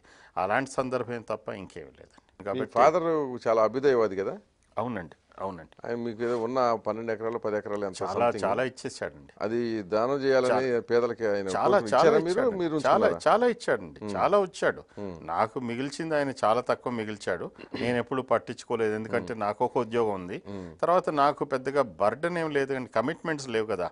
తమ్ముళ్ళ పెళ్ళిలో చెల్లెల పెళ్ళిలో అక్క సంసారం చూసుకోవాల్సిన కమిట్మెంట్స్ లేవు కాబట్టి I went along with him whatever మీ అత్తగారు బాగా మామగారు బాగా రిచ్ అనుకుంటా కదా? ఆయన రిచ్ అంటే ఆయన ఇన్కమ్ ట్యాక్స్ పెద్దగా కడతాడు. బట్ ఇన్కమ్ ట్యాక్స్ అంతా ఇన్కమ్ ట్యాక్స్ డిపార్ట్మెంట్ పోతుంది. నాకేం రాలేదండి. లేదా నాకేం రాలేదండి. సో గవర్నమెంట్కే కానీ అల్లుడికి ఏం అట్లా అంతేనండి. గవర్నమెంట్కే ఇస్తాడు ఆయన రెగ్యులర్గా లెక్కలు కట్టి కానీ గవర్నమెంట్కి ఇచ్చినట్టు అల్లుడికే మనవరాళ్ళకి ఇస్తాడేమోనండి చూద్దాం మీ మాట నిజం అవుతుంది మనవరాళ్ళకి వస్తుంది బహుశా. అంటే వాళ్ళ అది అంతా మా ఫాదర్ చెప్పినట్టు పేదలకి పనిచేసి మా ఫాదర్ చెప్పినట్టు చాలా మందికి ఇచ్చేసామండి. లాస్ట్లో కొంత మిగిలింది. ఇంకా అది నేను మాత్రం ఓకే. తీసేసానండి అమ్మేశాను ఇప్పుడు ఊళ్ళో పెద్ద సంబంధం ఇప్పుడు? కష్టం కదా. అందులో మా నాన్నగారు అమ్మగారు పోయిన తర్వాత అసలు టౌన్తోనే పెద్దగా సంబంధాలు లేవు పోవాల్సిన అవసరం లేదు. అందులో అప్పుడు బిజీగా ఉండేవాడిని ఆ- ఆ డ్యూటీలో ఆ జాబ్లో పోవడం కూడా కుదరలేదు. ఇప్పుడు వెళ్ళాలన్నా వెళ్ళాల్సిన వాళ్ళు ఎవరు లేరు. పలకరించే వాళ్ళు పెద్దగా అక్కడ లేరు కాబట్టి వెళ్ళడం అంటూ ఏమీ జరగలేదు. ఇప్పుడు స్టేట్ ఎలక్షన్ కమిషన్ పోస్టు మీరు కోరుకుంటే వచ్చిందా? లేకపోతే మిమ్మల్ని వాళ్ళు కోరుకునేసారా? ఒరిజినల్గా అసలు నాకు ఇదండి ఎక్స్టెన్షన్ ఇద్దామని ఐడియాలో ఉన్నారండి. ఒక ఎక్స్టెన్షన్ కూడా ఒకసారి ఇచ్చారు. ఒకసారి ఇచ్చారు. మళ్ళీ కూడా ఎక్స్టెన్షన్ ఇద్దామన్న ఆలోచన కొంత ఉండింది. నేనేమనుకున్నానంటే బయట వాళ్ళు ఏంటి ప్రతిదీ రమాకాంత్ రెడ్డి మొనోపలైజ్ చేయడమేనా? ఈయన చీఫ్ సెక్రటరీ కూడా ఈయనకే ఇస్తారు ఒక ఎక్స్టెన్షన్ ఇస్తారు మళ్ళీ ఇంకో ఎక్స్టెన్షన్కి రెడీ అవుతున్నట్టుగా అనుకుంటున్నారు. ఆ తర్వాత మళ్ళీ ఏదో పోస్ట్ కూడా రిజర్వ్ చేస్తున్నారట. అని చెప్పేసి అప్పటికి బహుశా ఒక ఒక పోస్ట్ ఖాళీ అయిందండి ఒక పోస్ట్ ఖాళీ అవ- అవబోతుంది. అవబోతుంది కాబట్టి రెండిట్లో ఏదో రిజర్వ్ చేస్తారట ఆయన సెలెక్ట్ చేసుకుంటాడట. ఇలాంటివన్నీ కొంచెం కొలీగ్స్ నుంచి నాకు కొంచెం త్రూ మై ఓన్ ఛానల్స్ నాకు వినబడ్డాయి. నేనేమనుకున్నానంటే ఇన్నాళ్ళు కొలీగ్స్ అహస్ అసహించుకునే పరిస్థితులు కాకుండా రమాకాంత్ రెడ్డి మంచివాడు అనేదో గుడ్ కాండక్ట్ సర్టిఫికేట్తో బతికి బతికిన వాడిని కాబట్టి రిటైర్మెంట్ నెల రోజులు ఉందనంగా బ్యాడ్ కాండక్ట్ సర్టిఫికేట్ మనకెందుకు? ఎందుకు తీసుకోవాలి? అని చెప్పేసి అలాంటి ఆలోచన ఏదన్నా ఉంటే వద్దులేండి. అంటే లేదు మీ హెల్త్ బాగానే ఉంది మీరు బాగా పనిచేశారు కదా కాబట్టి మీ సర్వీస్ మేము వాడుకుంటాం అని చెప్పేసి government was kind enough. State election commission అవునండి. సో వాట్ ఇంకా మీకు మిగిలిన కోరిక ఏంటి ఇంకా లైఫ్లో? నాకు నిజంగా చెప్పాలంటే కోరికలు అంటే పెద్దగా లేవండి. మీరు నమ్ముతారో నమ్మరో చాలామంది నమ్మరు కానీ నా ముప్పై ఏడేళ్ళ సర్వీస్లో అండి నేను అగ్రికల్చర్ డైరెక్టర్ చేసిన లేకపోతే cooperative managing cooperative bank managing director చేసిన టొబాకో బోర్డు చేసిన ఆ తర్వాత ట్రాన్స్కోకి ఇదైనా లేకపోతే రూరల్ డెవలప్మెంట్ చేసిన అగ్రికల్చర్ సెక్రటరీ చేసిన ఫైనాన్స్ సెక్రటరీ చేసిన చీఫ్ సెక్రటరీ చేసిన అవి ఎలా వచ్చాయంటే నా వెంబడే నన్ను వెతుక్కుంటూ వచ్చాయి తప్ప నేను పైరవి పైరవి చేసి వాళ్ళని వెళ్ళి ప్రాధాయపడి వీళ్ళని వెళ్ళి చేతులు పట్టుకొని మీరు ఎలా చేయించాలని చెప్పి నేను ఎన్నడూ ఏది అడగలేదండి. కాబట్టి నేను ఒకటే నమ్ముతానండి కర్మ సిద్ధాంతాన్ని. అది నాకు వస్తున్నాయి కాబట్టి రావాల్సింది కాబట్టి వచ్చాయి. కాబట్టి ఇక ముందు కూడా నాకు రావాల్సింది ఏదైనా ఉంటే వస్తుంది. అది రాకూడదు అనుకుంటే రాదు రాకూడని దాని కొరకు మనం బాధపడడం ఎందుకు? వచ్చిన దాన్ని వద్దనుకోవడం ఎందుకు? అనే సిద్ధాంతంలో నేను ఉంటాను. కాబట్టి నిజంగా నా కోరికలు ఏమి లేవండి. నాకన్నా మా సర్వీస్లో బాగా పనిచేసే వాళ్ళు ఉన్నారు. బ్రిలియంట్స్ ఉన్నారు. మేధస్ ఉన్న వాళ్ళు ఉన్నారు. కానీ చాలా పోస్టులు వాళ్ళని కాదు నాకు వచ్చాయి. నేను సంతృప్తి పడ్డాను. వాళ్ళకి ఎందుకు రాలేదో నాకు తెలియదు. వాళ్ళకు కూడా వచ్చి ఉండాల్సింది. వాళ్ళకి రాలేదు నాకు వచ్చాయి ఐఎమ్ హ్యాపీ. అంతకన్నా మిగతా ఎవరికి ఏమి వద్దు ఉన్నాయన్నీ నాకే కావాలి అన్నది నాకు ఎప్పుడు లేదండి. నేను అనుకోకుండా వచ్చాయి. హెల్త్ బాగానే ఉంది కాబట్టి పని చేస్తాను అని ప్రభుత్వంలో పెద్దలు అనుకున్నారు కాబట్టి వచ్చిందని నేను అనుకుంటున్నాను. వచ్చిన ఉద్యోగానికి మనం ఇంకా? ఎలక్షన్ కమిషనర్గా మీది ఇంకా టెన్ ఇయర్ ఇది టోటల్ ఫైవ్ ఇయర్స్ టెన్యూర్ అండి. ఇప్పుడు పది నెలలు అయిపోయింది. సో ఇంకా నాలుగు నెలలు నాలుగు సంవత్సరాలు రెండు నెలలు ఉందండి. రెండు ఎలక్షన్స్ నేను చేయాలి. ఒకటి మున్సిపల్ ఎలక్షన్స్ చేయాలి. అది బహుశా కోర్టులో ఏదో వ్యాజ్యం ఉన్నట్టుంది. పబ్లిక్ ఇంట్రెస్ట్ లిటిగేషన్ ఆ తర్వాత మళ్ళీ లోకల్ రూరల్ లోకల్ బాడీస్ కూడా చేయాలి. అంటే జిల్లా పరిషదు మ- పంచ పంచాయత్ గ్రామ పంచాయత్ పంచాయత్ సమితి అంటే ఎంపీపీ అంటాం. అవన్నీ చేయాలండి. అవి కూడా చేస్తాను. తప్పకుండా చేస్తాను. చేయాలి కదా. ఎందుకంటే ఇప్పటికే ఓవర్ డ్యూ ఇప్పటికే ఆలస్యం అయిపోయింది. మున్సిపల్ ఎలక్షన్స్ ఎప్పుడు లోపు జరగవచ్చని అది హైకోర్టులో ఒక జడ్జిమెంట్ రావాలండి. పబ్లిక్ ఇంట్రెస్ట్ లిటిగేషన్ బహుశా పద్మనాభరెడ్డి గారని ఎవరో పబ్లిక్ ఇంట్రెస్ట్ లిటిగేషన్ వేశారని విన్నాను. అది నోటీస్ ఇష్యూ చేశారు హైకోర్టు నుంచి నాలుగు వారాలు గడువిస్తూ. కౌంటర్ ఫైల్ చేసిన తర్వాత ఆర్గ్యుమెంట్స్ అవుతాయి. ఆర్గ్యుమెంట్స్ అయ్యి డెసిషన్ ఇవ్వగానే ప్రభుత్వం దే విల్ కమ్యూనికేట్ మీ రిజర్వ్ చేసిన ఏరియాస్ ఏమిటి ఏ వార్డ్స్ ఏ పోస్టులని అది రాగానే నేను నోటిఫికేషన్ ఇష్యూ చేసే ఉద్దేశంలోనూ. అంటే ప్రాబబ్లీ ఒక సిక్స్ మంత్స్లో ఛాన్స్ ఉందా? నేను అనుకోవడం ఒక నాలుగు నెలల్లో జరగాలని అనుకుంటున్నానండి. ఉమ్, ఎందుకంటే కాన్స్టిట్యూషన్ ప్రకారం కూడా ఒక పాయింట్ దాటి గవర్నమెంట్ ఏమీ డిలే చేయలేదు కదా? అవును. అంతే కదా? అవును. కాబట్టి ఒక నాలుగు నెలల్లో జరగవచ్చు అని నేను అనుకుంటున్నాను. బహుశా ఈ మధ్య కూడా మీరు కొన్ని స్టేట్మెంట్స్ చూసుంటారు కొంతమంది సంబంధిత మినిస్టర్ కూడా ఇచ్చినట్టున్నాడు. సో నాలుగు నెలల్లో జరగచ్చు సో మీ హయాంలో లోకల్ బాడీస్ ఎలక్షన్స్ కాస్త పద్ధతిగా జరగాలని కోరుకుంటూ. తప్పకుండా. ఏ ఇప్పుడు దాకా ఏది చేసినా పద్ధతిగానే చేశాను కాబట్టి మామూలుగా కూడా ఈయన పద్ధతిగానే చేస్తాడని ఎక్స్పెక్టేషన్ ఉంది కాబట్టి ఆ ఎక్స్పెక్టేషన్ కన్నా తగ్గాల్సిన అవసరం నాకు లేదుగా. లేదండి లేదని కూడా కాదు. ఇంక మరింత పట్టుదలతో నేననేది. తప్పకుండా చేస్తాం. ఎందుకంటే ఎందుకంటే బికాజ్ జరుగుతున్న పరిణామాలని చూస్తున్నారు కనుక కనీసం ఎక్కడో దగ్గర దాన్ని ప్రతిఘటించడం కోసం కృషి చేయాలి కదా. There is always room for improvement Yes. And let us do our best exactly so local బాడీస్లో ఇప్పుడు ఉన్న మనీ ఇన్ఫ్లుయెన్స్ కానివ్వండి ఇతరత్ర కానీ అవన్నీ కూడా కంట్రోల్ చేయడానికి మీరు గట్టిగా కృషి చేయాలని కోరుకుంటూ ఈ ప్రోగ్రామ్కి వచ్చినందుకు thank you very much thank you thank you